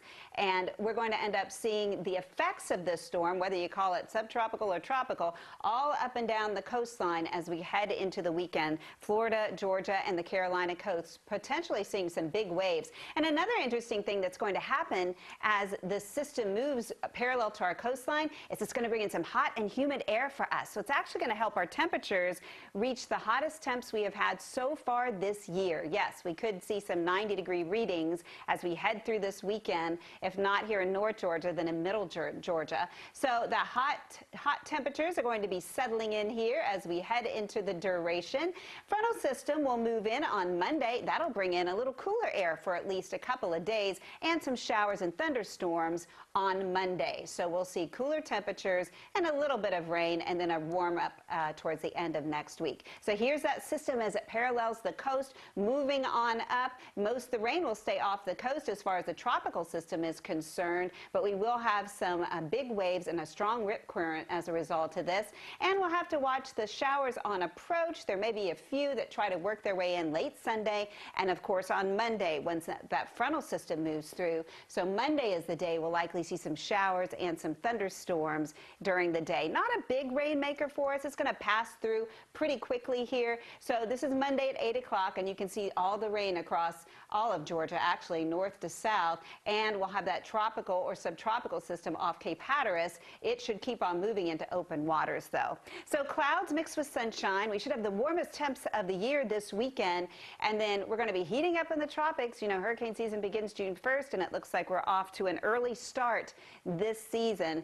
And if you go back and look at the last few years, since 2016, we have had a named storm in the month of May. So, yes, it's rare, but not out of the question. So here we go again, right? So the next seven days, we'll end up seeing those temperatures really warm up. We'll be close to 90 on Sunday, mostly dry weekend. And then we'll end up seeing that rain move in on Monday. That brings in a little cooler air for the start of next week. gov slash COVID-19. This message brought to you by the National Association of Broadcasters and this station.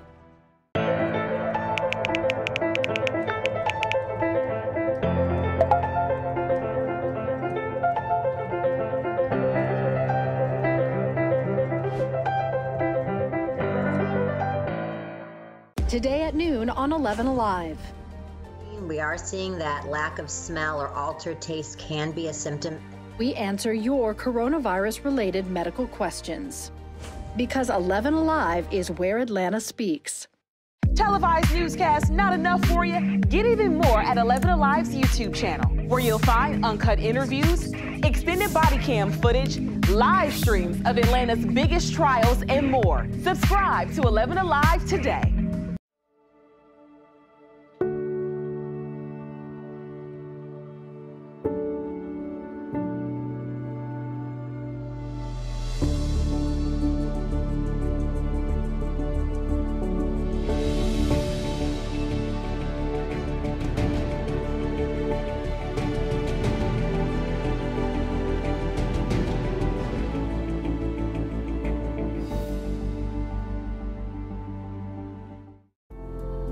In times of great uncertainty, some things become more clear. The things we take for granted, the people we depend on daily. Here at 11 Alive, we'd like to say thank you. First responders, medical staff, sanitation workers, truck drivers, postal workers, and every brave Georgian doing their part to make a difference. We see you, we hear you, and we appreciate all that you do. Start with a viral message going around. Quote, vast majority of people who died had ibuprofen Advil in their system. This message is fake. We just bought 20 dust masks for $97. Are you doing this to help people or are you doing this to make money or both? Both. Take this email sent to the Verify team. Is it safe to have your house cleaned by outside workers? The best practice is to limit guests to emergencies only.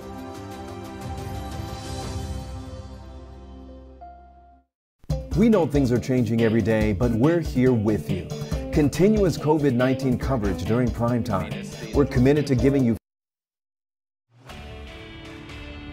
The Verify team is here to help you navigate what's real and what's fake during this pandemic. My name is Ronnie Taylor from Forestville, Maryland. Ronnie came to us asking about a rumor on a pretty difficult subject. He heard that during this pandemic, those who die in the hospital, whether it's from COVID 19 or anything else, must be buried in a hospital gown or whatever they were wearing at the time. I want to be buried in my redskin gear when it's my time. So I'm gonna need to know if I need, whenever I go to the hospital, do I need to carry my gear with me? So let's verify.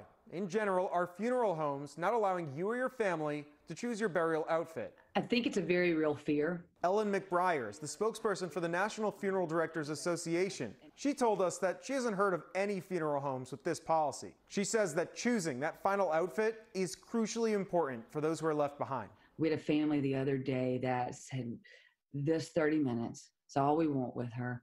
When they, they walked in and said, We haven't seen our mom in three weeks.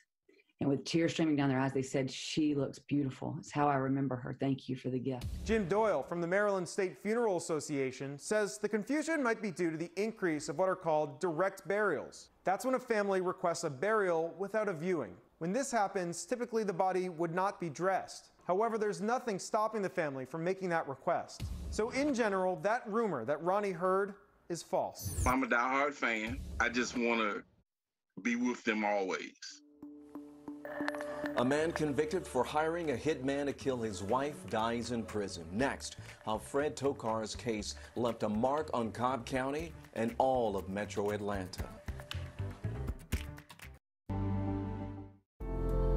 In times of great uncertainty, some things become more clear. The things we take for granted, the people we depend on daily. Here at 11 Alive, we'd like to say thank you.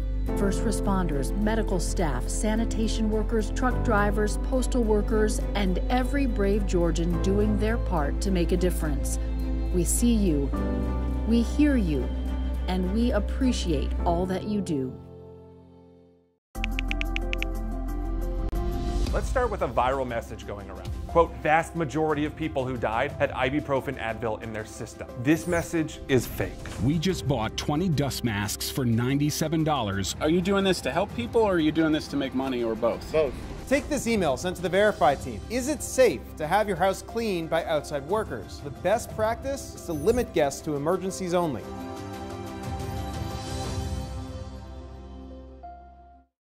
We know things are changing every day, but we're here with you. Continuous COVID 19 coverage during prime time. We're committed to giving you facts, not fear. On 11 Alive News Prime Time, weeknights from 8 to 11 on WATL. There are everyday actions to help prevent the spread of respiratory diseases. Wash your hands. Avoid close contact with people who are sick. Avoid touching your eyes, nose, and mouth. Stay home when you are sick. Cover your cough or sneeze. Clean and disinfect frequently touched objects with household cleaning spray. For more information, visit cdc.gov/covid19. This message brought to you by the National Association of Broadcasters and this station.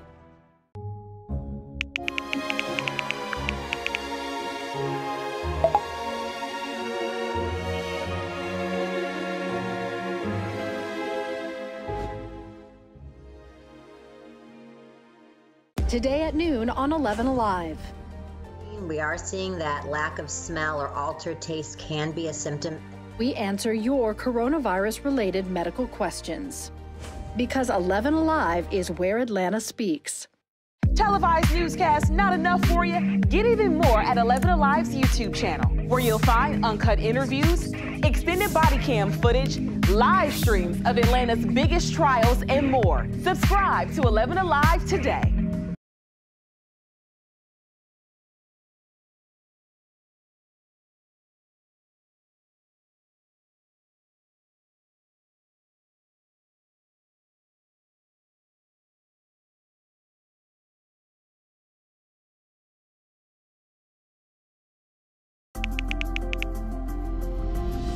With a viral message going around. Quote, vast majority of people who died had ibuprofen Advil in their system. This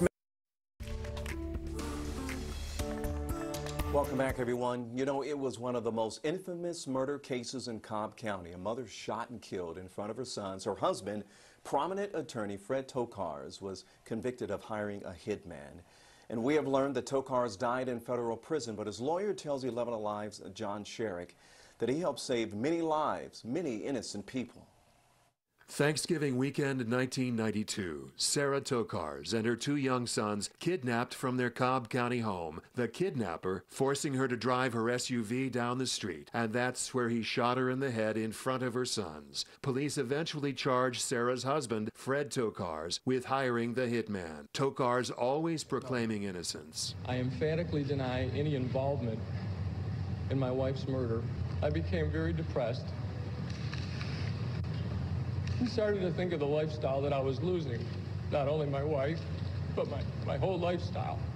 Tokars was convicted in both federal court and state court, sentenced to multiple life sentences. Prosecutors saying he had Sarah killed because she had discovered he was using his law practice for drug dealing and money laundering, and he was afraid she would turn him in. You know, he said he didn't do it. Tokars attorney Jerry Froelich of Atlanta says he just learned that Tokars, who was in poor health, died in a federal prison in Pennsylvania over the weekend. Froelich says that while Tokars was in prison, he would get fellow inmates to confide in him about murders and murder murder plots, and then Tokars would turn them in and testify against them one after another. What he what, what he did for the government, I mean, he saved he, he solved murders, he saved lives. Using his law skills in the final years of his life, Froelich says, for good. But I was really and have been angry that they didn't reduce his sentence after he put his life and he solved those things. Fred Tokars, dying in prison more than 27 years after Sarah was killed, to the end, never admitting guilt.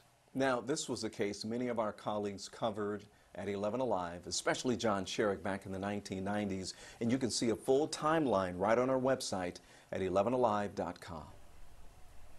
Tonight, we're looking into the history of the police department that responded to the shooting death of Ahmaud Arbery, but did not make any arrests. Arbery, a young black man, was shot and killed while jogging in February.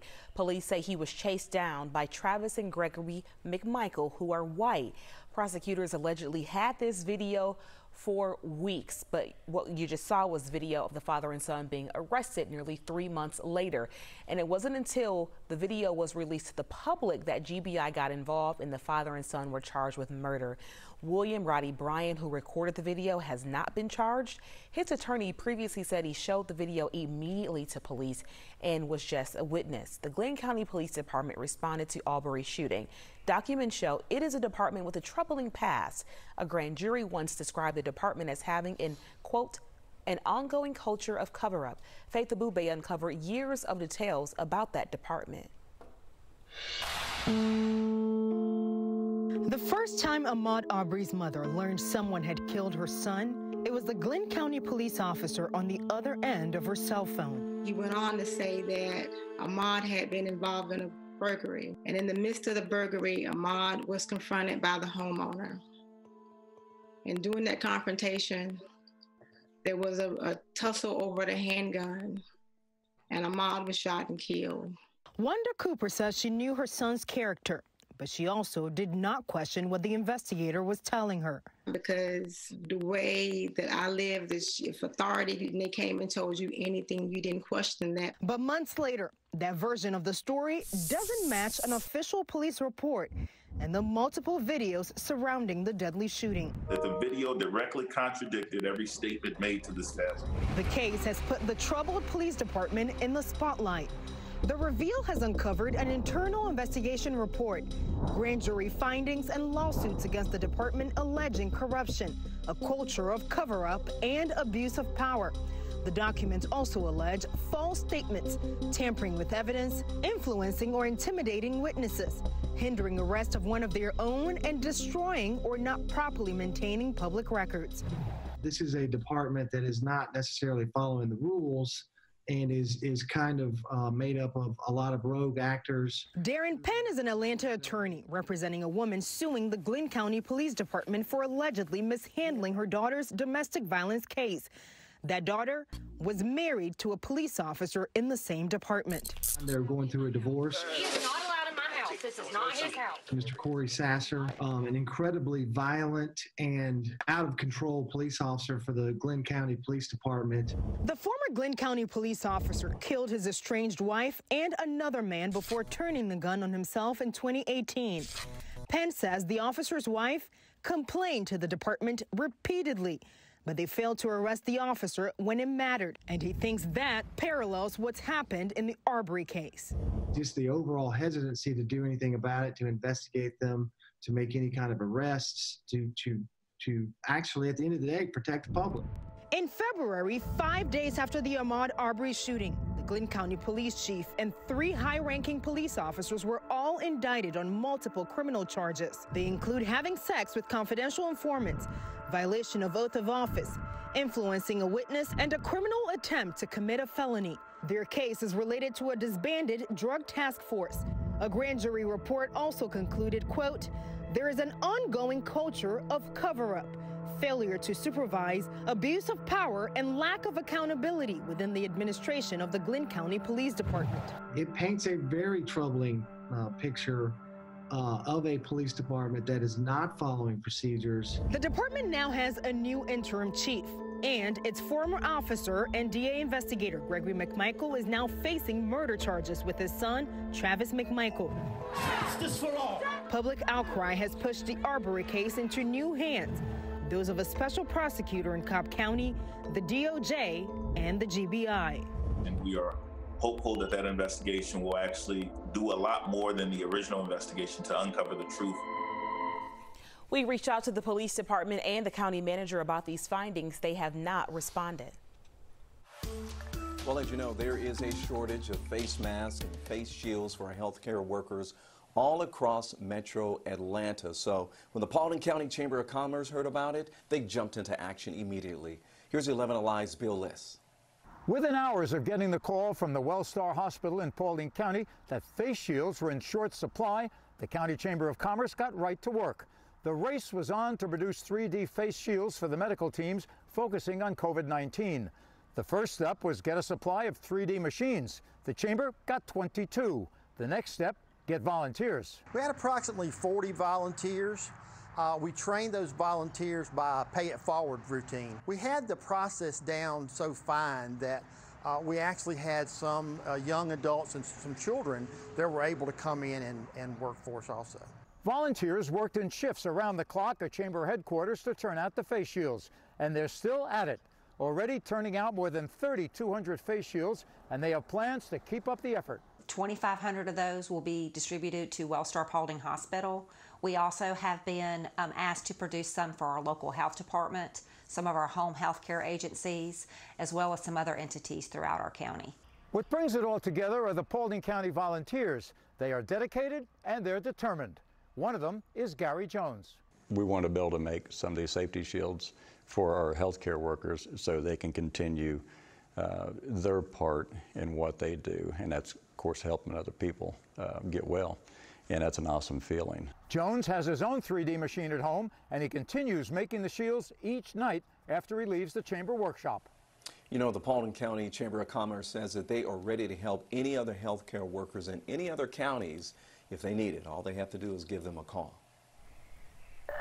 Major League Soccer is trying to figure out a plan to start the season, which may have the players quarantined in a place like Disney in Orlando. Alex Glaze tells us what the players think about possibly having to play.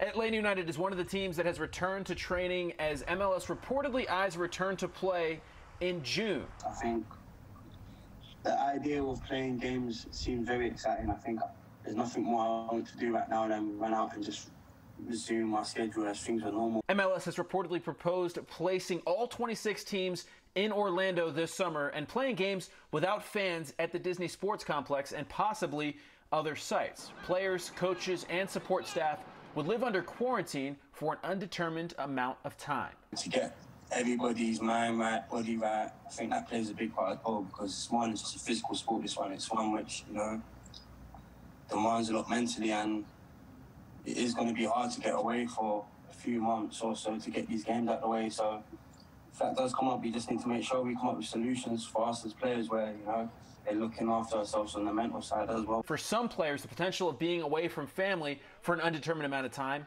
is a concern. If I go into a field, I want to give all I can. And if I'm going to give all I can, potentially for a month, two months, two or three weeks, wouldn't be enough for me. I think the risk is very very high because, you know, there's a chance we could go out and get injured for the sake of two months of play and we can miss, you know, you know how some of these injuries are. The reported proposal has not been agreed upon, but has been sent to the union. Your 11 Alive storm trackers are watching some showers and storms well off to our west, trying to work their way in, but high pressure is kind of stopping them in their tracks. So coming up, what you can expect on your Friday and when we may see the hottest day of the year so far.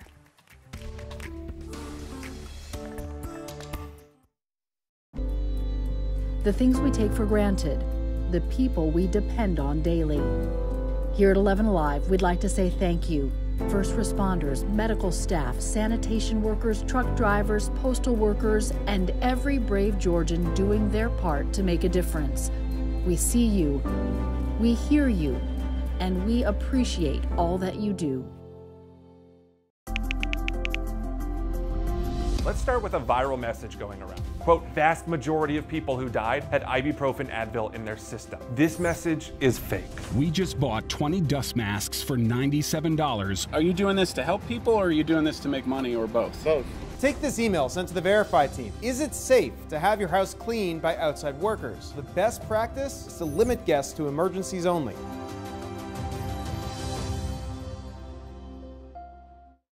We know things are changing every day, but we're here with you. Continuous COVID 19 coverage during prime time. We're committed to giving you facts, not fear. On 11 Alive News Prime Time, weeknights from 8 to 11 on WATL. There are everyday actions to help prevent the spread of respiratory diseases. Wash your hands. Avoid close contact with people who are sick. Avoid touching your eyes, nose, and mouth. Stay home when you are sick. Cover your cough or sneeze.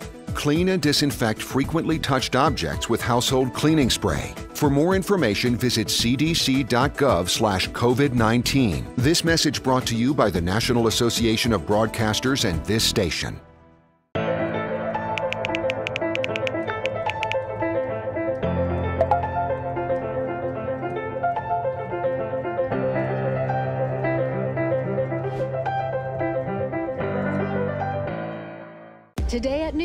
11 Alive. We are seeing that lack of smell or altered taste can be a symptom. We answer your coronavirus related medical questions. Because 11 Alive is where Atlanta speaks. Televised newscast, not enough for you? Get even more at 11 Alive's YouTube channel, where you'll find uncut interviews, extended body cam footage, live streams of Atlanta's biggest trials, and more. Subscribe to 11 Alive today.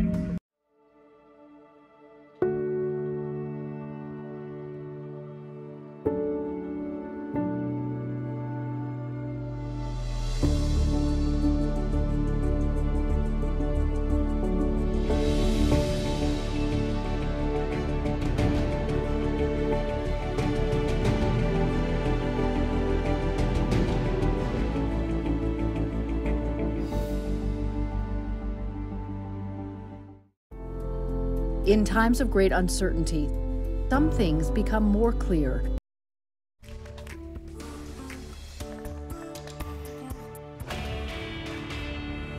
As businesses start to open up across the country, the Verify team is tackling this question Can an employee refuse to come back to work because they don't think it's safe out? Can they be fired for doing this? The bottom line is yes and no. There's a lot of gray area for both sides. Helping us out are two employment law experts Scott Oswald from the Employment Law Group and Mark Pierce, the executive director for the Workers' Right Institute at Georgetown Law School. They emphasize that each individual case is different. But there are some main points. First off, nearly every state in the country and the District of Columbia are what's called employment at will states. That means you can be fired for no reason or any reason at all, so long as it's not discriminatory. So, in that sense, yes, you can be fired if you all out refuse to come back to work.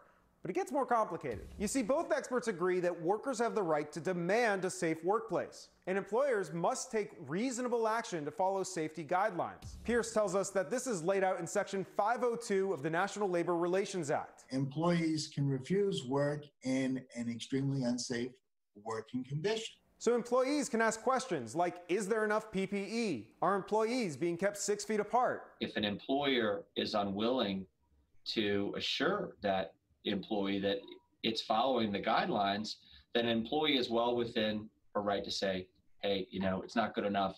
I'm not coming back. And that brings us to a laundry list of caveats. If you're in a collective bargaining agreement, then your union may offer more protections and leverage in getting safer conditions. If you're considered high risk, your employer may be required to offer reasonable accommodations to avoid violating the Americans with Disabilities Act. And finally, if you're a first responder, the bar for staying home gets really high. It might be an unsafe situation, but if there's a duty to care for patients, that might override those kind of considerations. So, generally speaking, yes, you can be fired if you refuse to return to work. And yet, we are allowed to demand safety at work. And it's in this legal gray area where our experts say there's likely to be a lot of employment disputes in our future. The first case of coronavirus was confirmed in Georgia on March 2nd. And I tell you what, folks, and you know this, it has been a long, challenging two and a half months. And as more states are beginning to reduce some of those restrictions, a lot of attitudes are changing now across our country. 11 Alive's Jennifer Bellamy has more now on a new poll and how Americans feel about these new changes. For the last few months, Americans have been through a range of emotions as the nation deals with COVID 19. But now we're starting to see more hope among those feelings. A new Monmouth University poll found fewer Americans are concerned that a family member could become seriously ill with the virus. 42% say they're very concerned, and that's compared to 50% last month. The change comes despite more Americans saying they know someone who's contracted coronavirus. That number is up to 40% from 26% in April. Financially speaking, 40% said they'd suffered a loss in income, and 31% said at least one person in their household had been laid off due to the pandemic. Still, the survey found that American optimism, while taking a slight dip, was still strong. 63% of Americans said they were very hopeful that their lives would get back to normal as soon as we get past the coronavirus pandemic. And we will continue bringing you updates and perspective on the coronavirus. You'll find much more coverage on 11alive.com and in our 11 Alive app. For your 11 Alive storm trackers tracking those rising temperatures. And do you remember just one week ago today, it was cloudy and rainy all day and we were in the 50s all day.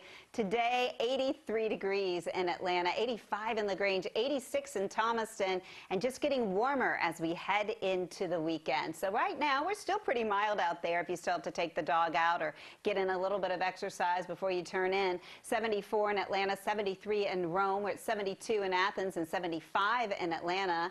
And the next 12 hours, those temperatures are going to be very warm overnight, just getting down into the low 60s. So we won't have that chill in the air. And also, a little more moisture is in the air, too, so it won't be as dry. So it's going to feel pretty mild as you head out the door tomorrow. And by mid morning, maybe you're taking a break, a little walk around the block.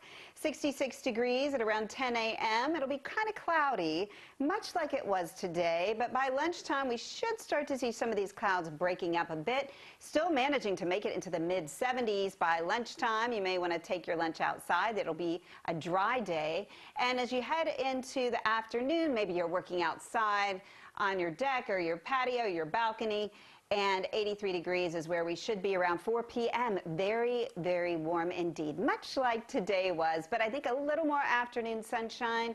So that's going to lend itself to a higher UV index. It's expected to be around 10. That is very high. That means within 15 minutes time, you could start to do some damage to your skin. So make sure you uh, wear a sunscreen or a hat, sunglasses, always need to protect those eyes. So we're looking at the radar right now, and there are a few showers trying their best to work their way in, but this ridge of high pressure is saying, nope, I'm going to squash you, I'm going to suppress you, and you're not going to make it in, and he's making it right, he, like it like it has a gender.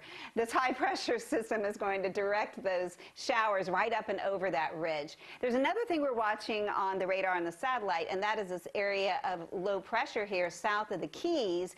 And this is what we're going to have to watch for possible development. And it may end up being our first named storm of the Atlantic hurricane season. You can see it's just a little area of low pressure right now that formed off of a front south of the Keys. It's going to continue to deepen it's going to continue to strengthen the next 24 to 36 hours. And it has a 70% chance within the next two days of becoming uh, an, a tropical or a subtropical system. It may end up being a tropical storm, a subtropical storm, but it does appear that it will be strengthening. We have an 80% chance the next five days. That just means the timing on this developing into something really notable will be Friday, Saturday, but it will impact the Florida coast, the Georgia coast, and the Carolina coast. See the models in complete agreement here. I just kind of whizzed by you here, but that showed it moving parallel to the coast and then out north of Bermuda now. So uh, not being very impactful, not making any landfall anywhere, but definitely whipping up the surf here along the coastline and making for some strong rip currents. So if you are happen, happening to be heading towards the coast, the east coast, this weekend. The Florida, Georgia, the Carolina coast, there's going to be some big waves. It's going to be warm here, and that system's actually going to help us warm up this week. Yes, this tropical system, counterclockwise flow around it, will pipe in some hot and humid air for us this weekend. So we're probably going to see some 90s, if not in North Georgia, in Middle Georgia. And we're going to come very close here as well. So you can see we'll have some clouds to start. This is Friday morning. They'll break up a bit in the afternoon, maybe a shower or two in far North Georgia. That's not out of the question Friday or Saturday. And then on Sunday, we'll end up seeing things uh, get a little cloudy late in the day, rain overnight into Monday, and we'll have those showers and thunderstorms. That'll be a possibility into early Tuesday, and that'll bring in a little cooler air for us as well. So pretty warm the next few days, peaking on Sunday. That'll likely be the hottest day of the year so far. Rain moves in late into Monday, and that front on Monday bringing in some storms will also bring in a little cooler air for our Tuesday and Wednesday.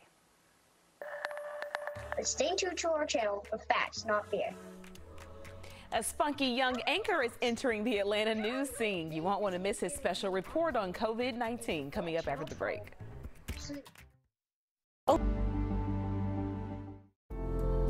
In times of great uncertainty, some things become more clear. The things we take for granted, the people we depend on daily. Here at 11 Alive, we'd like to say thank you. First responders, medical staff, sanitation workers, truck drivers, postal workers, and every brave Georgian doing their part to make a difference. We see you, we hear you, and we appreciate all that you do. Let's start with a viral message going around. Quote, vast majority of people who died had ibuprofen Advil in their system. This message is fake. We just bought 20 dust masks for $97. Are you doing this to help people or are you doing this to make money or both? Both. Take this email sent to the Verify team. Is it safe to have your house cleaned by outside workers? The best practice is to limit guests to emergencies only.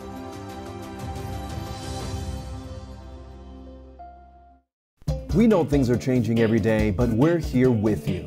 Continuous COVID 19 coverage during prime time. We're committed to giving you facts, not fear, on 11 Alive News Prime Time, weeknights from 8 to 11 on WATL. There are everyday actions to help prevent the spread of respiratory diseases. Wash your hands. Avoid close contact with people who are sick. Avoid touching your eyes, nose, and mouth. Stay home when you are sick. Cover your cough or sneeze. Clean and disinfect frequently touched objects with household cleaning spray. For more information, visit cdc.gov slash COVID-19. This message brought to you by the National Association of Broadcasters and this station.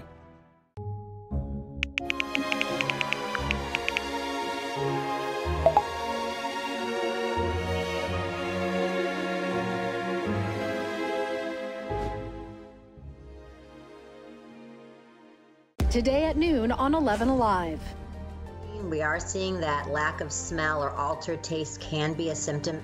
We answer your coronavirus related medical questions. Because 11 Alive is where Atlanta speaks.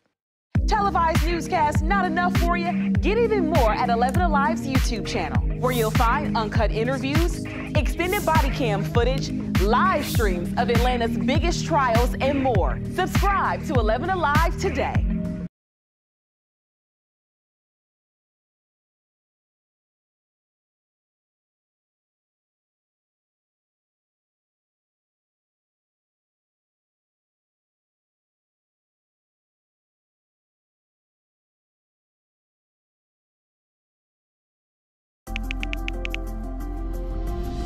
With a viral message going around. Quote, vast majority of people who died had ibuprofen Advil in their All right, watch out news stations. There is a new anchor in town. Sixth grader Joshua Cornett is broadcasting from Duluth tonight with the latest on COVID 19. He's even embracing our 11 Alive slogan. Stay tuned to our channel for facts, not fear. Stay at home, Duluth! Today's date is April 2nd. My name is Joshua Cornett with Channel 12 News. Governor Kemp issued a stay at home order for all Georgians today. What does that mean? That means stay at home, not go out. And remember, even apart, we are all in this together. Now, let's check in with JC for a sports update. Yeah, there are still no sports. Let's look back at this pandemic and remember the heroes. The list includes doctors and nurses who worked long hours, sometimes not being able to see their families, all to save the ones who were sick. There were truck drivers who continued to deliver the items people desperately needed. The scientists working long hours trying to find a vaccine and a cure. Grocery store workers who continued working where we could have food. And of course, teachers had to adjust to di- digital learning for themselves and their students, while often having to take care of their own families. These heroes deserve a lifetime of thanks. And as students return to school, return to sports, and return to hanging out with their friends, let's always remember the heroes. Well, temperatures are going to be warming up in a big way the next few days. So we are in the 80s. In fact, in the upper 80s by Sunday. A mostly dry, very warm weekend with some rain possibly moving in late Monday. Better chance on uh, late Sunday into Monday where we'll have a 40% chance of showers and storms. And then things cool off behind the front.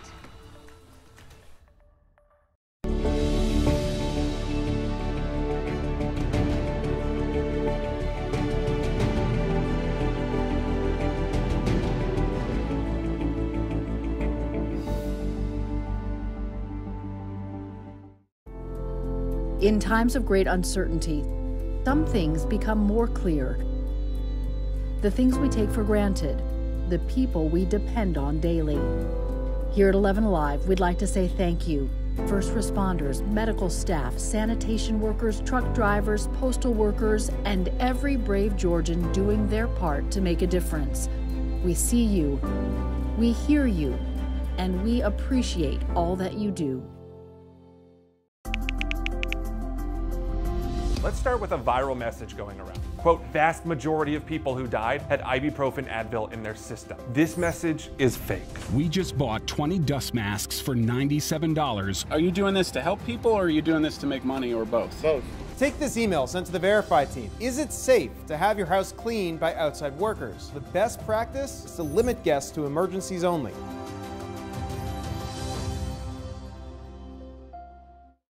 We know things are changing every day, but we're here with you.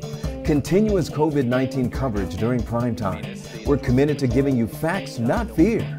On 11 Alive News Prime Time, weeknights from 8 to 11 on WATL. There are everyday actions to help prevent the spread of respiratory diseases. Wash your hands. Avoid close contact with people who are sick. Avoid touching your eyes, nose, and mouth. Stay home when you are sick. Cover your cough or sneeze. Clean and disinfect frequently touched objects with household cleaning spray. For more information, visit cdc.gov slash COVID-19. This message brought to you by the National Association of Broadcasters and this station.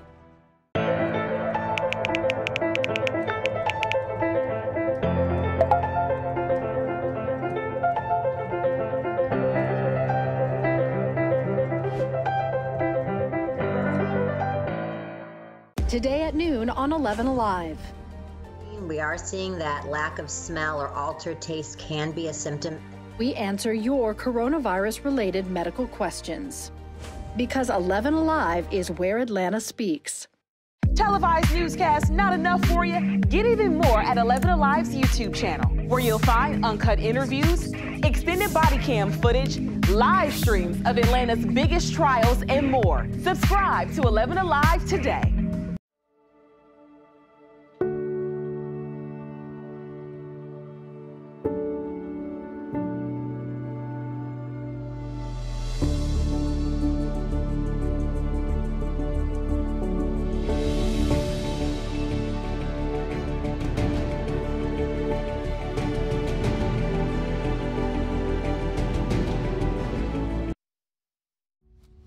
Eleven Alive News Primetime on the ATL starts now.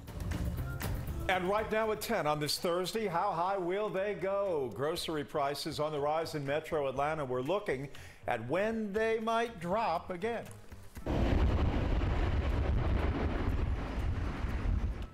We never get tired of seeing this. Another flyover and a thank you to our healthcare and essential workers. We have reaction from nurses who watched it. And serious accusations against a former University of Georgia football player, his NFL career in jeopardy, a former number one pick, as police are trying to track him down. First tonight, don't rush to judgment. That is the message from the legal team now representing one of the men charged with murdering Ahmaud Arbery. The 25 year old was jogging in Brunswick back in February when police say he was chased down by a white father and son who shot and killed him. For months, the man remained free. Last week, this video surfaced showing the confrontation. It sparked national outrage and compelled the GBI to lead the case. Soon after the father and son were charged with murder, Joe Henke spoke with the attorneys for the son, Travis McMichael. Travis and Gregory McMichael have spent one week in jail and both now have defense teams working on their cases. Travis McMichael is being defended by Decatur attorneys Robert Rubin and Jason Sheffield. No matter how you look at this case, a young man has died and that is always a tragedy. Prosecutors say this cell phone video captures an unarmed Ahmaud Arbery as he jogged through a Brunswick neighborhood in February before allegedly being confronted by the McMichaels and shot by Travis. We will be presenting our evidence in a court of law. McMichael's attorneys today not discussing specifics of the case as they complete an independent investigation. We are asking everybody who's following this case, who is reading about it, who's reading about it piecemeal, who is who are forming opinions without knowing all the facts to just take a breath. Rubin's past trials include defending an Atlanta public schools principal in the seven month long APS cheating scandal trial. And here Rubin is shaking hands with Hemy Neuman, whom he defended during the 2012 Dunwoody daycare murder trial, with Neuman being found guilty. Travis's father, Gregory, now represented by Macon attorneys Franklin and Laura Hogue.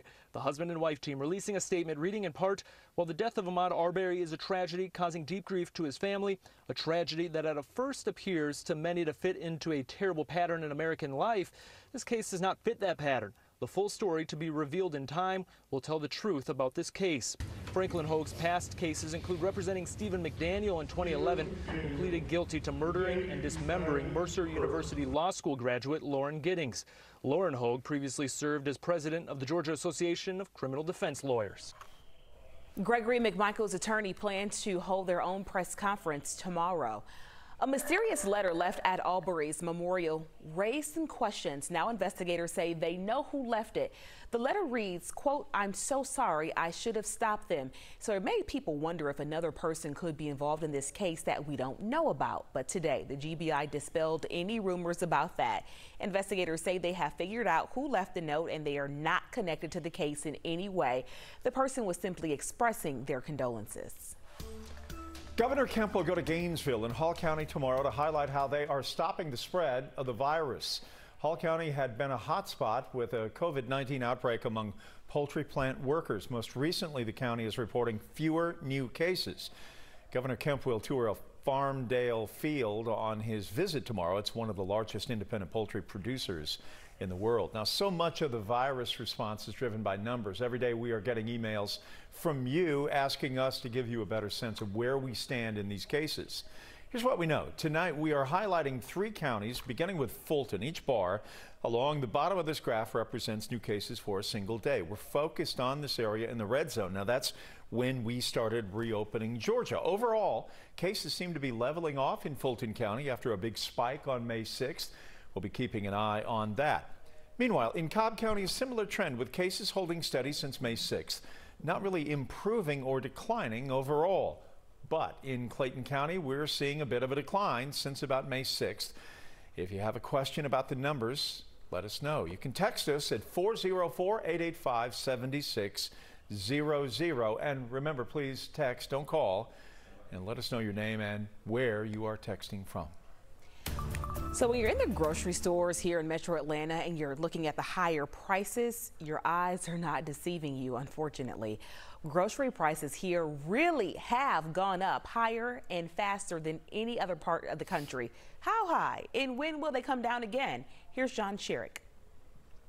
The headlines about grocery store prices nationwide, full of words like soaring. They're talking about this the 2.6% increase nationwide from March to April. And break it down. In Atlanta, up 4.3% from March to April. Ouch, that's, uh, that hurts. Emory University economist Douglas Bowman says farmers, manufacturers, wholesalers in the nation's coronavirus hotspots facing increasing costs from dealing with the virus and slowing down production temporarily, passing the higher costs on to the retailers. But Bowman says, look, where infections have decreased, such as the former hotspot of Seattle, grocery prices there up less than 1% last month. Which suggests that, you know, once things cut, start to settle down, we might be okay. Grocers here for now, passing the higher prices on to customers for what is available to maintain their profit margins of maybe 1 or 2% to stay in business. Kathy Kuzava of the Georgia Food Industry Association. As more plants get um, get up again running, I think that there's going to be more supply coming in the stores, and as a result, the prices will, will start going down. Starting to go down, or at least stabilizing, she believes, possibly by the end of May. Kroger emailed us that the one way customers can actually shop, quote, smarter is to go to their supermarket's websites, look for those weekly sales, and download those digital coupons. I got to start doing that. 11 Alive is dedicated to answering your questions about COVID 19, jobs, and Georgia's economy. Just click on our special coronavirus section of the 11 Alive app for answers to your most frequently asked questions, including who is still hiring.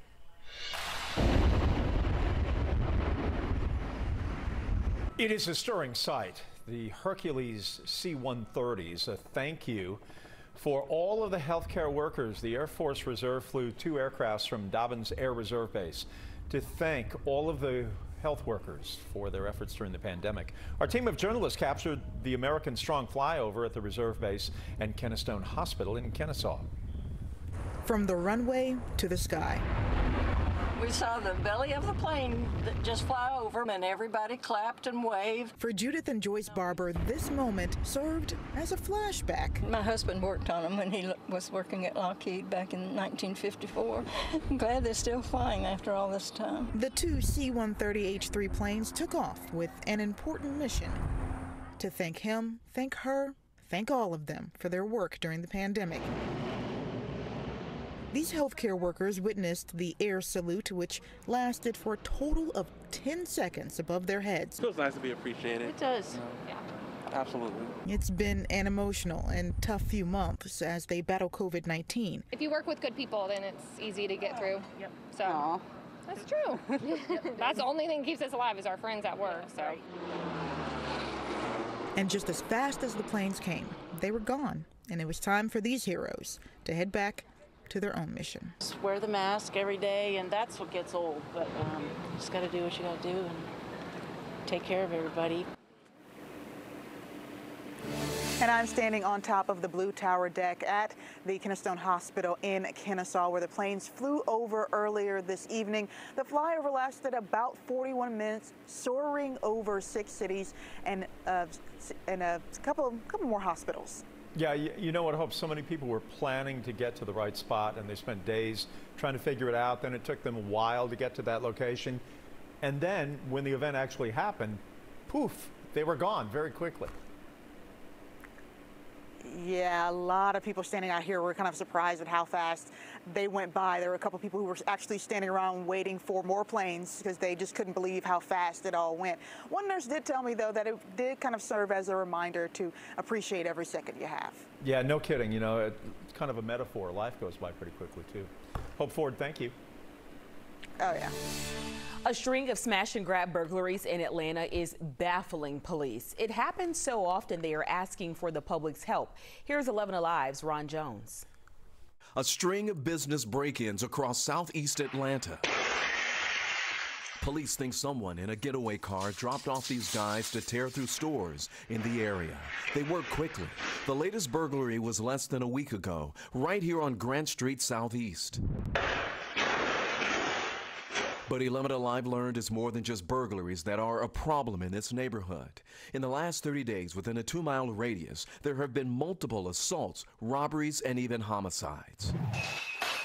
These thieves walk out with products and even the store's safe. Atlanta police say call them if you have any information about the crime. A local reality TV star in some legal hot water. A coronavirus loan program leads to a series of wild allegations. There are a few showers and storms well out to our west over Louisiana and Mississippi. They're trying to make their way past this ridge, but I don't think it's going to happen. So coming up, when those temperatures will be at their hottest. We answer your coronavirus related medical questions. Because 11 Alive is where Atlanta speaks.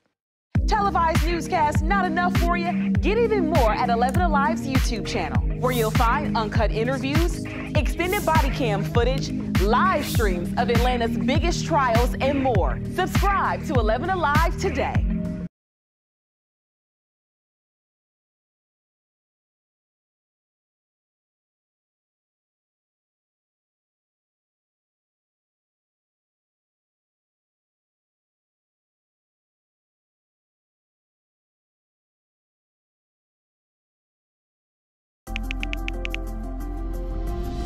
With a viral message going around. Quote, vast majority of people who died had ibuprofen Advil in their system. This message is fake. We just bought 20 dust masks for $97. Are you doing this to help people or are you doing this to make money or both? Both. Take this email sent to the Verify team. Is it safe to have your house cleaned by outside workers? The best practice is to limit guests to emergencies only.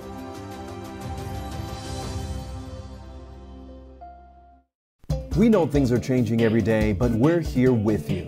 Continuous COVID 19 coverage during prime time. We're committed to giving you facts, not fear. On 11 Alive News Prime Time, weeknights from 8 to 11 on WATL. There are everyday actions to help prevent the spread of respiratory diseases. Wash your hands. Avoid close contact with people who are sick. Avoid touching your eyes, nose, and mouth. Stay home when you are sick. Cover your cough or sneeze. Clean and disinfect. Some breaking sports news tonight involving a former University of Georgia football player, former number one draft pick, great star, great player. There are arrest warrants out in Florida for DeAndre Baker. He's now the NFL football giants. Police say Baker and another NFL player, Quinton Dunbar, had semi automatic weapons with them as they stole money and watches from people at a party. Baker's arrest warrant is for four counts of armed robbery with a firearm and four counts of aggravated assault with a firearm. The Giants say they are unaware of that situation. They won't be saying that by tomorrow. We are following the latest in a tragic story. A high school senior killed days before graduation along with her older stepsister. It's still a mystery what exactly happened more than 24 hours after their bodies were found under an overpass near Rome. But tonight, the GBI is calling it a homicide and completing autopsies on both. 11 Alive's Latasha Givens with the very latest. GBI agents are in the beginning stages of this double death investigation, but they need the public's help to find out how the sisters died and why, something a family friend say they need for closure. She was like my sister. Mm-hmm. Um, I've known her ever since I was nine years old. Mm-hmm. And she was a loving, caring person. And I'm just heartbroken. Kayla Dotson is mourning the tragic death of her friend, 31 year old Trevina Campbell. She says their mothers were best friends who lived in the same apartment complex as they grew up. We spoke with Dotson as she waited with the family outside the police station Thursday.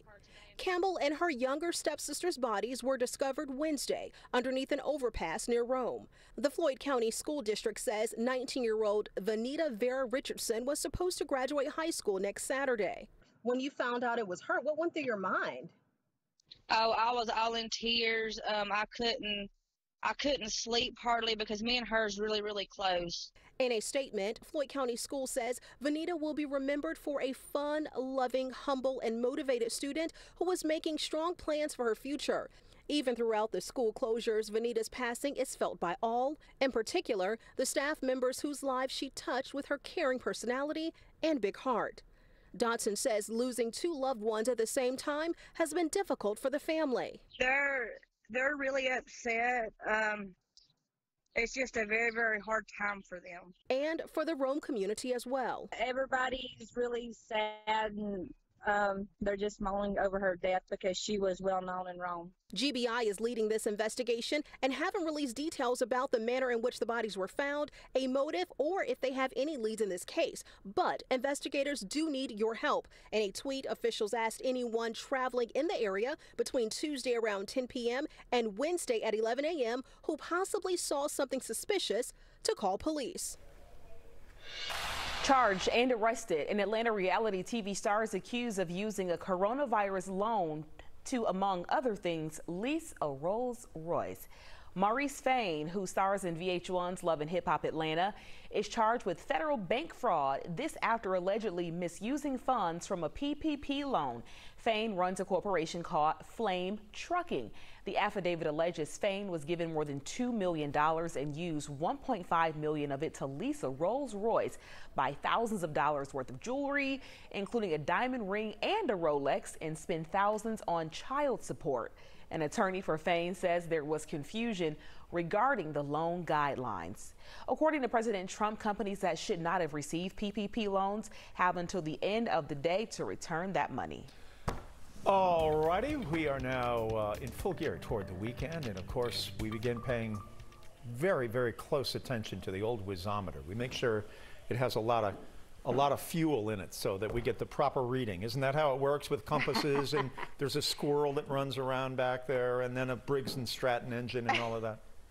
No, it's just premium high octane fuel. Yes, yeah, to sure fuel the is. wazometer, and it's going to be it's going to be gassed over the weekend because we're going to have those temperatures hotter than they have been uh, so far this year. So we're expecting some very warm temps, a little humid too. Now we had those clouds on the increase today. One of our 11 Alive storm trackers had us drone up in the afternoon.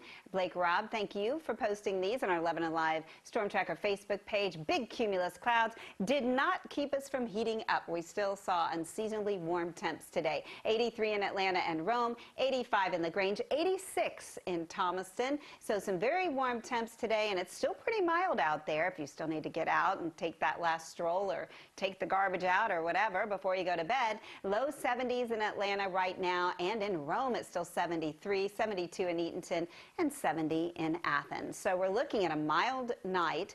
We'll see some clouds on the increase, so it may be a little gray when you wake up in the morning, but don't despair. I think those clouds will thin out a little bit in the afternoon, and we'll definitely be heating up. It'll be a day pretty much a carbon copy of today. You know, we started out overcast, the clouds broke up, and we really warmed up. We've also had some showers we're watching that are trying to work their way into Alabama. We'll see an increase in the cloud cover as these try to work their way through that ridge of high pressure. They're not going to make it all the way. We may have a few sprinkles in North Georgia. We'll definitely have increased clouds, and high pressure will continue to warm us up on Friday. We're also watching this down in Florida, on the southern tip of Florida, this area of low pressure that has developed along that old front that moved through here earlier in the week. This low is going to continue to develop, and the National Hurricane Center has been watching this for the last few days and now gives a 70% chance of developing into a subtropical or tropical system within the next two days and an 80% in the next five. So we're thinking that time frame will be sometime Friday into Saturday, impacting the East Coast, though, all the way up Florida coast, the Georgia coast, and the Carolina coast. And the most noticeable thing here is going to be the hot and humid conditions as we're going to see this air going counterclockwise around that low, a very warm source directing it right across us. So that's one reason we'll have some 90 degree readings across our state on Sunday. That'll likely be the hottest day of the year so far. And that hot air will linger over the weekend. Then the jet stream will take a dip. A front will move through on Monday, and that will serve to cool us off a little bit and bring in some showers and thunderstorms during the day on Monday. And that'll take our temperatures back down a notch. But here it is on the American model, showing that circulation of what could be Arthur, either tropical storm or subtropical storm Arthur, if it gets that strong, paralleling the coast, bringing in some big waves and rip currents up on the Georgia coast and into the Carolina coast as well. And then we'll see the rain moving in here late Sunday and Monday. Uh, some showers, some thunderstorms. Not a huge rainmaker, but a little bit of rain and a little bit of cooling. So we'll see those temperatures on the rise the next few days. We should peak on Sunday. The rain moves in Sunday night, Monday, cools us back off once again to some nice temperatures on Tuesday and Wednesday. This is a great weather wow moment. We want to show you the work by Pam Dowdy, one of our 11 Alive storm trackers. Bluebirds, a daddy bluebird feeding his baby, and it is just so adorable, and we thank her for posting that. And if you'd like to post your work on our 11 Alive Storm Tracker Facebook page, all you have to do is join. Just go to our 11 Alive Storm Tracker Facebook page, and we will approve you. Those are beautiful birds. Still to come, what's the best way to reopen a state? We're seeing a push and pull across America. A lot of different ideas. We'll take a look as some people are growing impatient. Act with people who are sick. Avoid touching your eyes, nose, and mouth. Stay home when you are sick. Cover your cough or sneeze. Clean and disinfect frequently touched objects with household cleaning spray. For more information, visit cdc.gov slash COVID-19. This message brought to you by the National Association of Broadcasters and this station.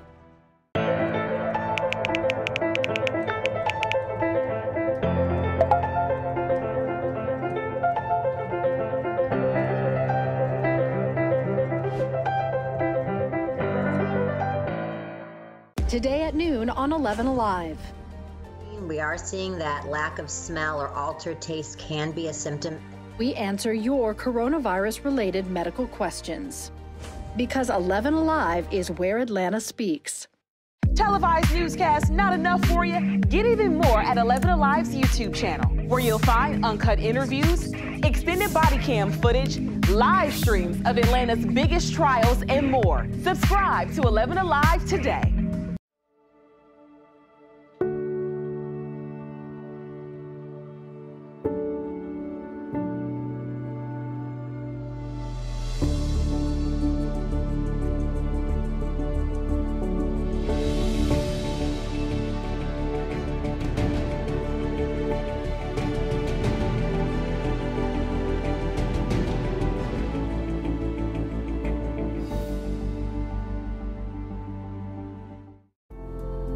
In times of great uncertainty, some things become more clear. The things we take for granted, the people we depend on daily. Here at 11 Alive, we'd like to say thank you. First responders, medical staff, sanitation workers, truck drivers, postal workers, and every brave Georgian doing their part to make a difference. We see you, we hear you, and we appreciate all that you do. Let's start with a viral message going around. Quote, vast majority of people who died had ibuprofen Advil in their system. This message is fake. We just bought 20 dust masks for $97. Are you doing this to help people or are you doing this to make money or both? Both. Take this email sent to the Verify team. Is it safe to have your house cleaned by outside workers? The best practice is to limit guests to emergencies only.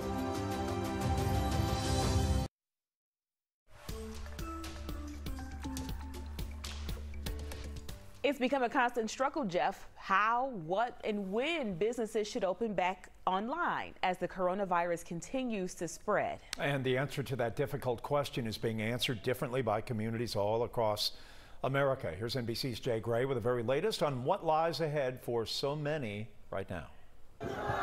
The national tug of war continues. The push to open, the pull to keep things locked down. The CDC today releasing new guidelines on personal protection, social distancing, sanitizing, gathering, and reopening based on a community's rate of infection.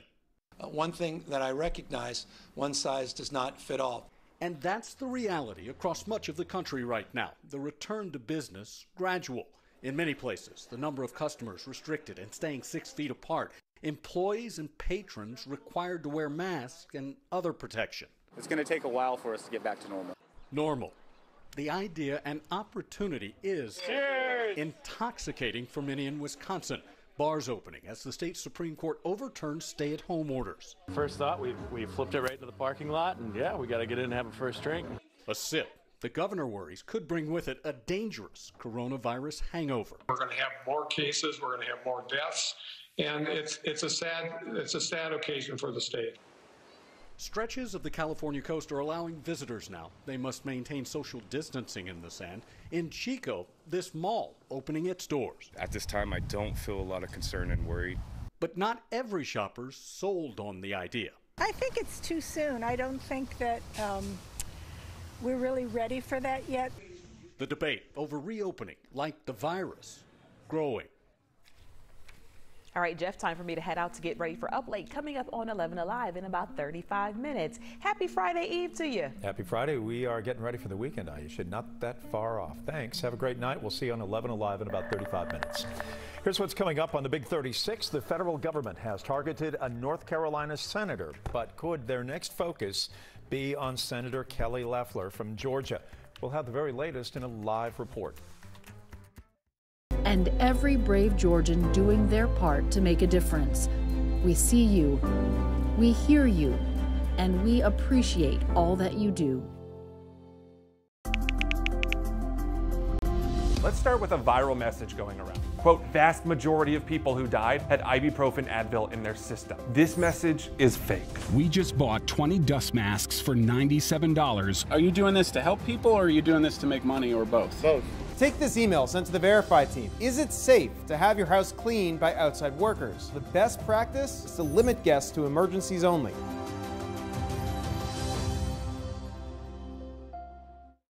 We know things are changing every day, but we're here with you. Continuous COVID 19 coverage during prime time. We're committed to giving you facts, not fear. On 11 Alive News Prime Time, weeknights from 8 to 11 on WATL. There are everyday actions to help prevent the spread of respiratory diseases. Wash your hands. Avoid close contact with people who are sick. Avoid touching your eyes, nose, and mouth. Stay home when you are sick. Cover your cough or sneeze.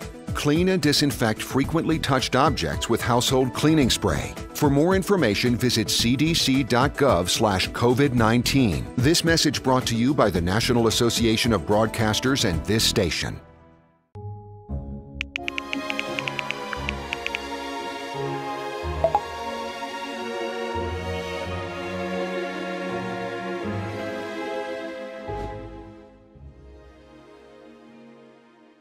Today at noon on 11 Alive. We are seeing that lack of smell or altered taste can be a symptom. We answer your coronavirus related medical questions. Because 11 Alive is where Atlanta speaks. Televised newscasts not enough for you? Get even more at 11 Alive's YouTube channel, where you'll find uncut interviews, extended body cam footage, live streams of Atlanta's biggest trials, and more. Subscribe to 11 Alive today.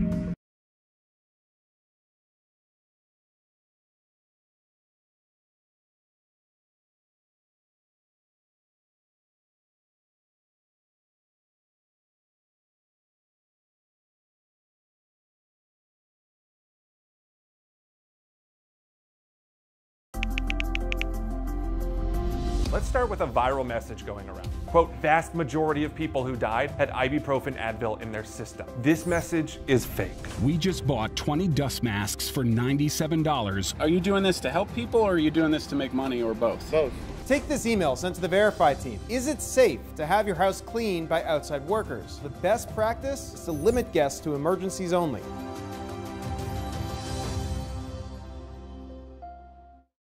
We know things are changing every day, but we're here with you. Continuous COVID 19 coverage during prime time. We're committed to giving you facts, not fear. On 11 Alive News Prime Time, weeknights from 8 to 11 on WATL. There are everyday actions to help prevent the spread of respiratory diseases. Wash your hands. Avoid close contact with people who are sick. Avoid touching your eyes, nose, and mouth. Stay home when you are sick. Cover your cough or sneeze. Clean and disinfect frequently touched objects with household. Tonight, Senator Kelly Loeffler is on the defense. This comes as one of the leading Republicans in the U.S. Senate now stepping down from his role as a chairman. The FBI and its agents seized his cell phone, all part of an investigation into insider trading tied to the coronavirus pandemic earlier in the year. Ryan Kruger is live in Atlanta to explain a, a potentially tangled web. Yeah, that's right, Jeff. And uh, late this evening, Senator Kelly Loeffler's office told me that she has handed over documents to the Justice Department, but insists that no search warrant has been served to her. Uh, again, this is all after she faced a bunch of scrutiny back in March after she and her husband made millions of dollars worth of stock trades right before the stock market plummeted due to the coronavirus pandemic. I spoke with one former federal prosecutor who said it's likely that FBI agents are looking into her activities. Republican Senator Richard Burr of North Carolina finding himself at the center of an FBI investigation after he sold millions of dollars in stocks after receiving intelligence briefings about the COVID 19 pandemic. To authorize a search warrant of a sitting United States Senator, that's breathtaking. He's one of several U.S. senators to come under scrutiny about their stock trades, including Georgia's Kelly Loeffler, who sold millions of dollars in stocks in companies that later dropped significantly. Loeffler's aides say she has not received a search warrant from the FBI, but one former federal prosecutor says she might be getting a visit soon. They can prove uh, that Senator Burr was, in fact, trading on inside knowledge that he got from a briefing, and others seem to have done the same thing and heard that same information that raises serious problems for all of them. In a statement, a spokesperson said Senator Loeffler has forwarded documents and information to the Justice Department, the SEC, and the Senate Ethics Committee, establishing that she and her husband acted entirely appropriately and observed both the letter and the spirit of the law. And in March, Senator Loeffler said that she was not involved with her stock sales. You know, they are a very wealthy couple, and oftentimes, you know, you, you have people that do that, where they pick stocks or they pick investments and that has been her defense in this from the very beginning. Yeah, that's correct, Jeff. Uh, she and her husband argue that they have investment managers, a third party, and they handle all the straight the, the, they handle all the trades. So Loeffler and her husband have no knowledge about any of the trades. Uh, you also mentioned they are a wealthy couple. One thing to point out, Senator Burr, it's estimated that his stock trades he made that was upwards of 75% of his total net worth that he was trading. Meanwhile, Kelly Loeffler worth more than half a billion dollars, so the trade she made only represented a fraction of her total net worth. At the very least, the optics on this have never been very good. All right, Ryan Kruger, thank you. A top government scientist who would have been leading the U.S. race for a coronavirus vaccine testified before a House committee today. He said that he was removed from his job for political reasons and laid out a grim prognosis for the months to come. Meanwhile, President Trump is in the battleground state of Pennsylvania as we learn more bad news today about the state of the economy. Here's NBC's Alice Barr in Washington with the very latest. They'll load it, they'll mix all the President Trump visiting Pennsylvania today, touring a medical supply plant and pushing the state's Democratic governor to reopen faster. We have a lot of people want their freedom and they'll get their freedom very soon. While on Capitol Hill, an ousted whistleblower, Dr. Rick Bright, told a House committee the Trump administration ignored his dire early warnings in a slow response to the coronavirus crisis. Without better planning, 2020 could be the darkest winter in modern history. But time is running out because the virus is still spreading everywhere. Dr. Bright says he was transferred out of his role overseeing federal vaccine development after repeatedly warning of critical shortages of medical supplies. Those alarms were not responded to with action. And resisting efforts to promote the drug hydroxychloroquine that President Trump has often touted. The evidence for its benefit was weak and the evidence for its safety concerns was stronger. Republicans on the committee defending President Trump. But this hearing is not about a whistleblower complaint. It's about undermining the administration during a national and global crisis. The president dismissing Dr. Bright's testimony. To me, he's nothing more than a, a really uh, disgruntled, unhappy person as President Trump shifts his focus to resuscitating the economy, he was met today in Pennsylvania by demonstrators staging a mock funeral, saying it's too soon to reopen, while pockets of protest around the country demand an end to shutdowns. Amid new reports, nearly 3 million Americans filed first time unemployment claims last week, bringing the total to more than 36 million claims since the crisis began in March. We will not know until next week what the state's current unemployment rate is. And here is what we do know. Nearly a quarter million new unemployment claims submitted just last week. The state has paid record amounts to people out of work. Yet There are people still waiting for their unemployment benefits. Here's 11 Alive's Doug Richards looking into it. Because many businesses can't operate fully or at all because of the pandemic, they're laying off and furloughing workers in record numbers. The food service industry is the top industry that's costing people jobs. Restaurants and related industries slowed down or closed in droves over the last two months. And so it was kind of just a situation where they had to give everyone unemployment since there was nothing that we could really do. In Georgia, new claims for unemployment keep coming in each week. They peaked April 4th, then slowly dropped. In mid April, they started leveling out, fluctuating in the quarter million range each successive week. The state labor department has issued payments to 575,000 unemployed Georgians since the middle of March, more than the previous four years combined. Some of those claims came from the auto sales industry, which has slowed down as well. Brian Butcher filed his claim following a furlough more than a month ago, but got no response. What was frustrating is all my coworkers got their benefits starting the week after we were furloughed up until last week and I got nothing. Labor Commissioner Mark Butler says newly installed technology plus some human error has slowed down some unemployment claims. And they will most likely be approved as long as they can prove their situation. After we talked with Brian Butcher, we sent his complaint to the Department of Labor, and we learned early this afternoon that it got fixed. A small victory in a sweeping story of economic hardship. It is the kind of statistic that will get a parent's attention. It comes from a tech safety company in Atlanta. Bark, and we have spoke of this country uh, of this company prior, is reporting a 23% increase in online predators. They had to report to law enforcement since the quarantine began. Their chief parenting officer told our Caitlin Ross it is something all parents should be watching very closely. It's heartbreaking and disgusting and terrifying. Um, and we hope all parents, you know, and caregivers listen. Bark Chief Parenting Officer Titania Jordan says as soon as your children are old enough to use technology, they're old enough to hear about dangerous people who might try to talk to them online. You, you have to talk about these things because it absolutely can happen to your child. She says they knew there would be a rise in online predator activity when they realized how long kids would be stuck at home, but they didn't think it would be this big of an increase.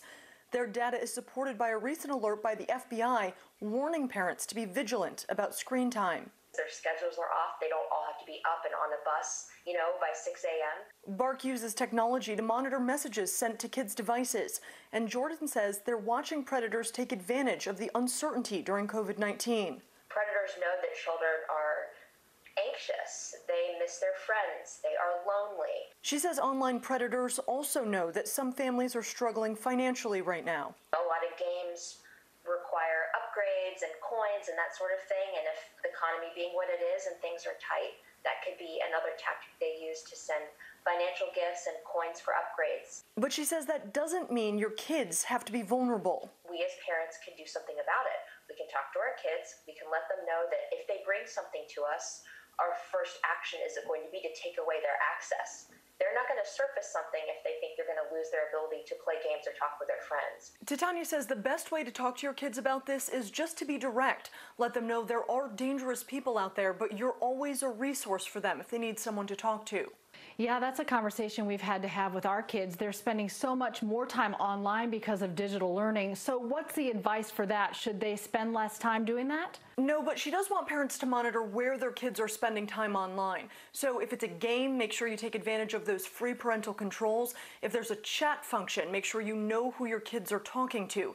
But more than anything, just letting your kids know that they can talk to you. A real volunteer effort next. A Metro Atlanta business group jumps in to help get face shields for healthcare workers. Here 11 Alive Storm Trackers watching those temperatures that were on the rise today, made it into the low 80s, and it looks like we could have some of the hottest temperatures we've had so far this year, this coming weekend. We'll time all that out for you coming up.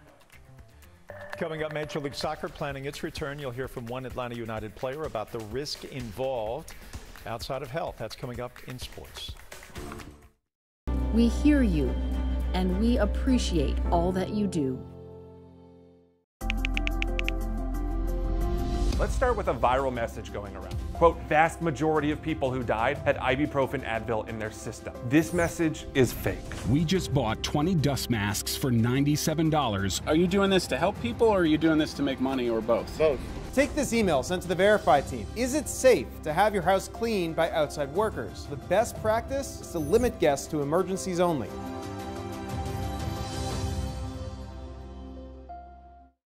We know things are changing every day, but we're here with you. Continuous COVID 19 coverage during prime time. We're committed to giving you facts, not fear. On 11 Alive News Prime Time, weeknights from 8 to 11 on WATL. There are everyday actions to help prevent the spread of respiratory diseases. Wash your hands. Avoid close contact with people who are sick. Avoid touching your eyes, nose, and mouth. Stay home when you are sick. Cover your cough or sneeze. Clean and disinfect frequently touched objects with household cleaning spray. For more information, visit cdc.gov slash COVID-19. This message brought to you by the National Association of Broadcasters and this station.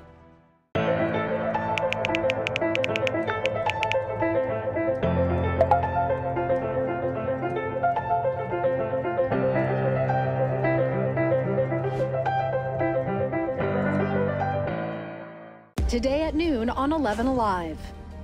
We are seeing that lack of smell or altered taste can be a symptom. We answer your coronavirus related medical questions. Because 11 Alive is where Atlanta speaks. Televised newscast not enough for you? Get even more at 11 Alive's YouTube channel, where you'll find uncut interviews, extended body cam footage, live streams of Atlanta's biggest trials, and more. Subscribe to 11 Alive today.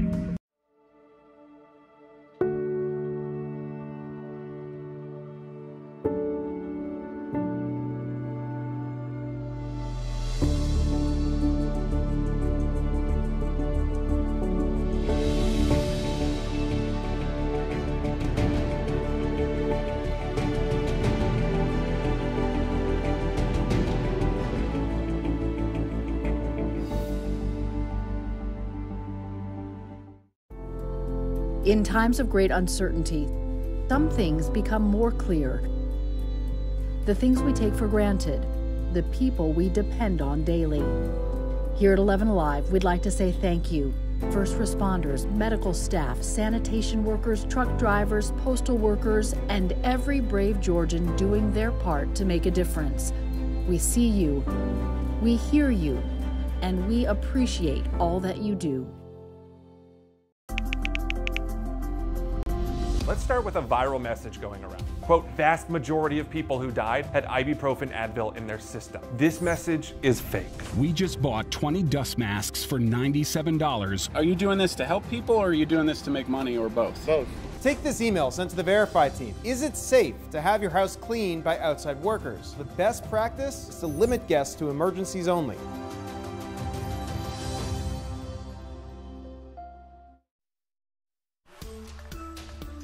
With a continuing shortage of face masks and face shields for dedicated healthcare professionals, urgent calls went out for supplies. When the Paulding County Chamber of Commerce got the call, they acted very quickly.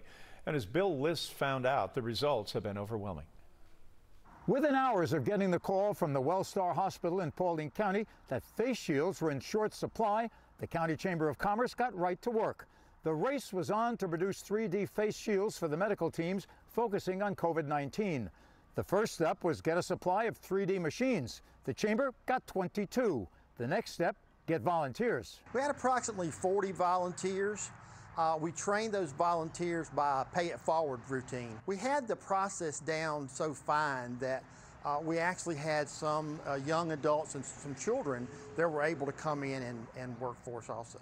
Volunteers worked in shifts around the clock at chamber headquarters to turn out the face shields, and they're still at it already turning out more than 3,200 face shields, and they have plans to keep up the effort. 2,500 of those will be distributed to Wellstar Paulding Hospital. We also have been um, asked to produce some for our local health department, some of our home health care agencies, as well as some other entities throughout our county. What brings it all together are the Paulding County volunteers. They are dedicated and they're determined. One of them is Gary Jones. We want to be able to make some of these safety shields for our healthcare workers so they can continue uh, their part in what they do. And that's, of course, helping other people uh, get well. And that's an awesome feeling. Jones has his own 3D machine at home, and he continues making the shields each night after he leaves the chamber workshop. The Paulding Chamber of Commerce says it looks forward to other counties asking them for help in setting up similar efforts for healthcare professionals.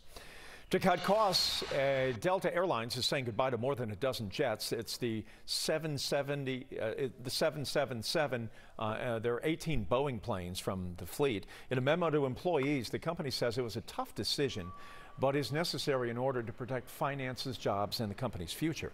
According to our partners at the Atlanta Business Chronicle, charges from the Boeing 777 are expected to reach up to $1.7 billion pre-tax in the second quarter.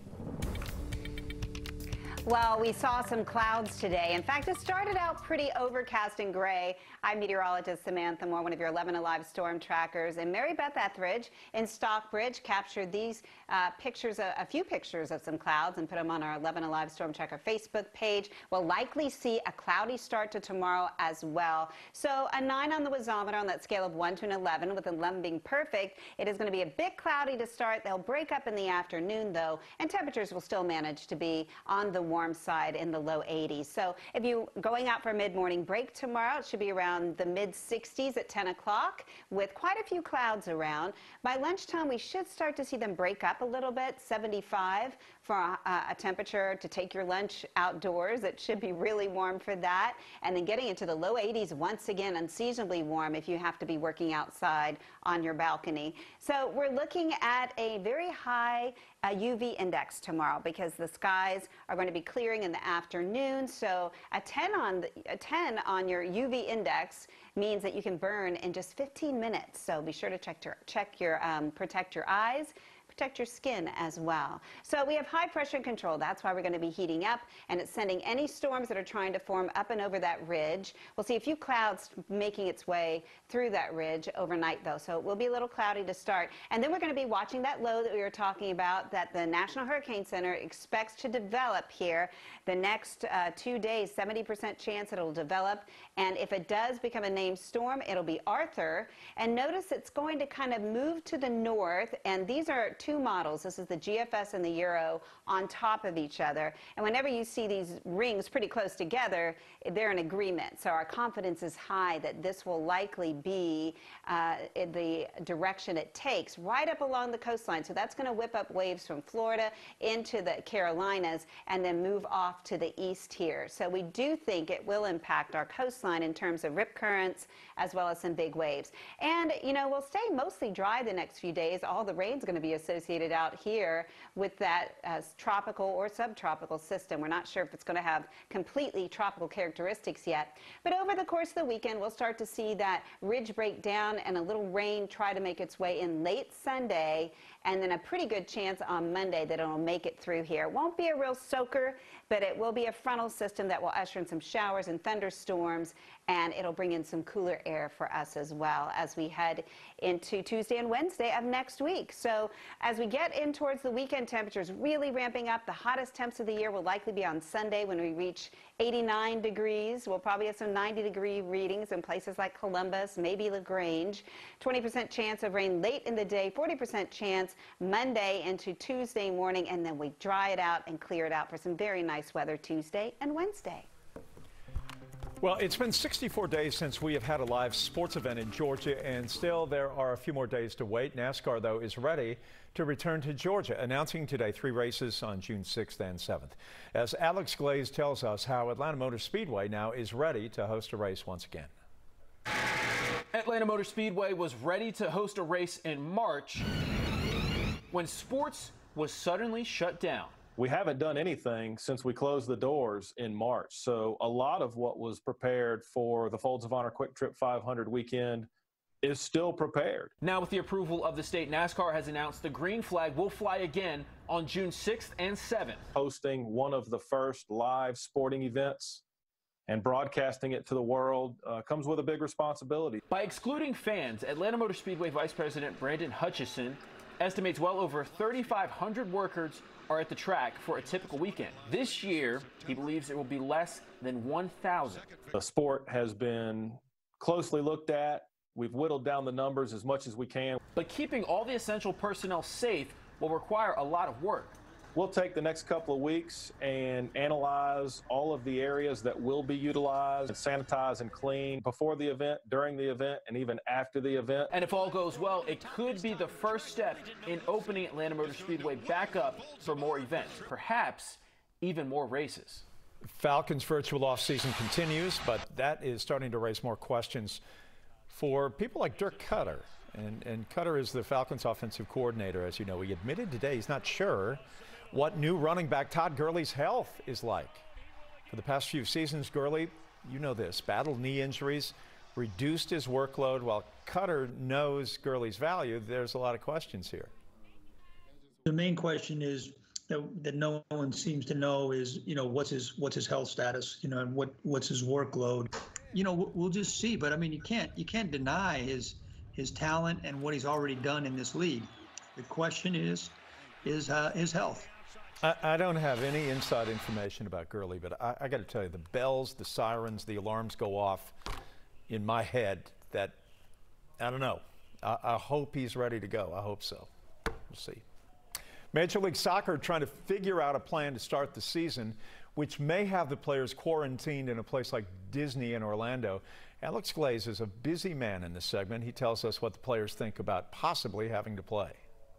Atlanta United is one of the teams that has returned to training as MLS reportedly eyes return to play in June. I think the idea of playing games seems very exciting. I think there's nothing more I want to do right now than run out and just resume my schedule as things are normal. MLS has reportedly proposed placing all 26 teams in Orlando this summer and playing games without fans at the Disney Sports Complex and possibly other sites. Players, coaches, and support staff would live under quarantine for an undetermined amount of time. To get everybody's mind right, body right, I think that plays a big part as well because it's more than just a physical sport, this one. It's one which, you know, demands a lot mentally and it is going to be hard to get away for a few months or so to get these games out of the way. So if that does come up, we just need to make sure we come up with solutions for us as players where, you know, and looking after ourselves on the mental side as well. For some players, the potential of being away from family for an undetermined amount of time is a concern. If I go into a field, I want to give all I can, and if I'm going to give all I can, potentially for a month, two months, two or three weeks, wouldn't be enough for me.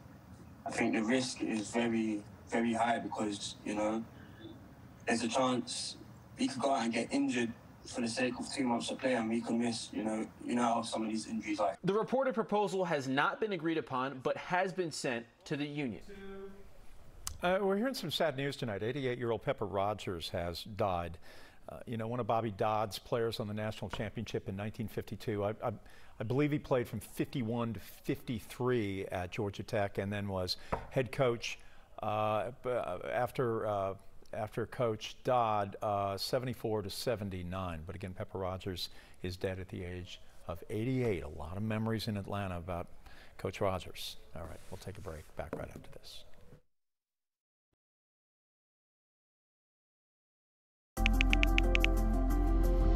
Let's start with a viral message going around. Quote, vast majority of people who died had ibuprofen Advil in their system. This message is fake. We just bought 20 dust masks for $97. Are you doing this to help people or are you doing this to make money or both? Both.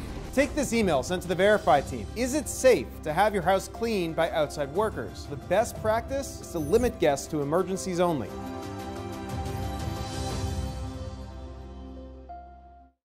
We know things are changing every day, but we're here with you. Continuous COVID 19 coverage during prime time. We're committed to giving you facts, not fear. On 11 Alive News Prime Time, weeknights from 8 to 11 on WATL. There are everyday actions to help prevent the spread of respiratory diseases. Wash your hands. Avoid close contact with people who are sick. Avoid touching your eyes, nose, and mouth. Stay home when you are sick. Cover your cough or sneeze. Clean and disinfect frequently touched objects with household cleaning spray. For more information, visit cdc.gov slash COVID-19. This message brought to you by the National Association of Broadcasters and this station.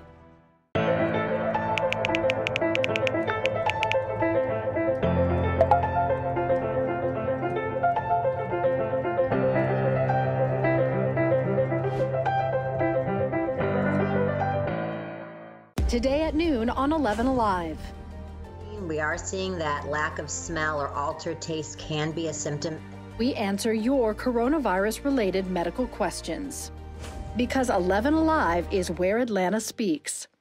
Televised newscasts not enough for you? Get even more at 11 Alive's YouTube channel, where you'll find uncut interviews, extended body cam footage, live streams of Atlanta's biggest trials, and more. Subscribe to 11 Alive today.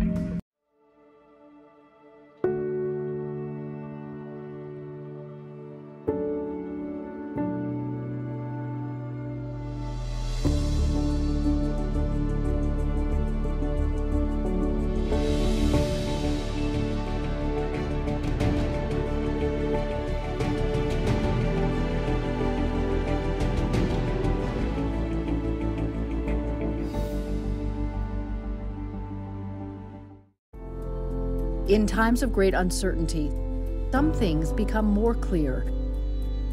The things we take for granted, the people we depend on daily. Here at 11 Alive, we'd like to say thank you.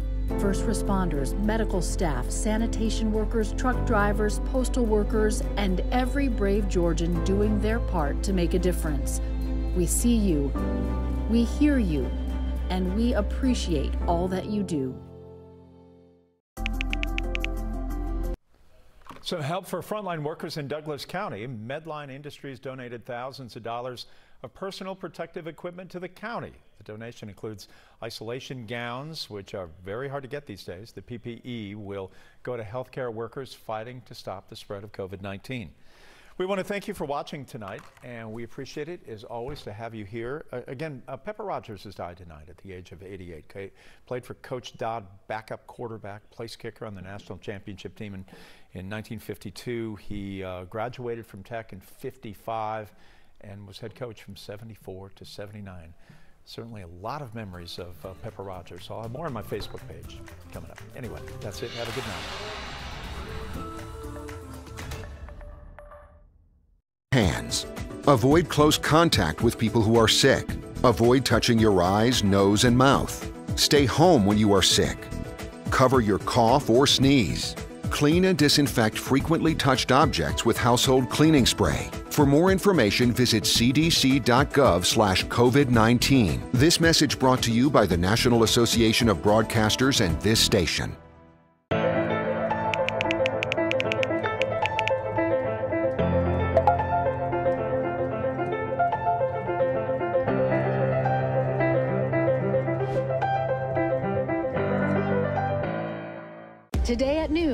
11 Alive. We are seeing that lack of smell or altered taste can be a symptom. We answer your coronavirus related medical questions. Because 11 Alive is where Atlanta speaks. Televised newscasts not enough for you? Get even more at 11 Alive's YouTube channel, where you'll find uncut interviews, extended body cam footage, live streams of Atlanta's biggest trials, and more. Subscribe to 11 Alive today.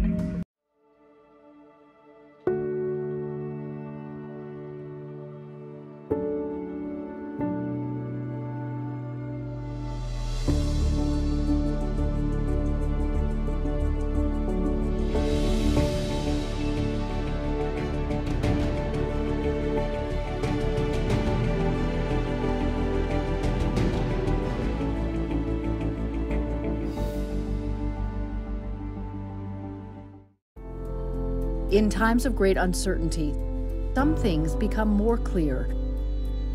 The things we take for granted, the people we depend on daily. Here at 11 Alive, we'd like to say thank you. First responders, medical staff, sanitation workers, truck drivers, postal workers, and every brave Georgian doing their part to make a difference. We see you, we hear you, and we appreciate all that you do. Let's Let's start with a viral message going around. Quote, vast majority of people who died had ibuprofen Advil in their system. This message is fake. We just bought 20 dust masks for $97. Are you doing this to help people or are you doing this to make money or both? Both. Take this email sent to the Verify team. Is it safe to have your house cleaned by outside workers? The best practice is to limit guests to emergencies only.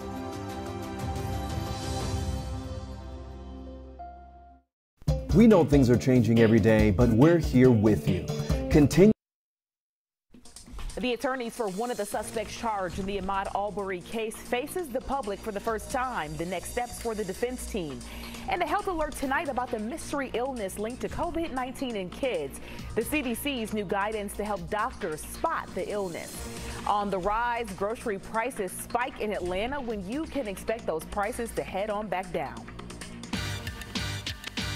From 11 Alive News.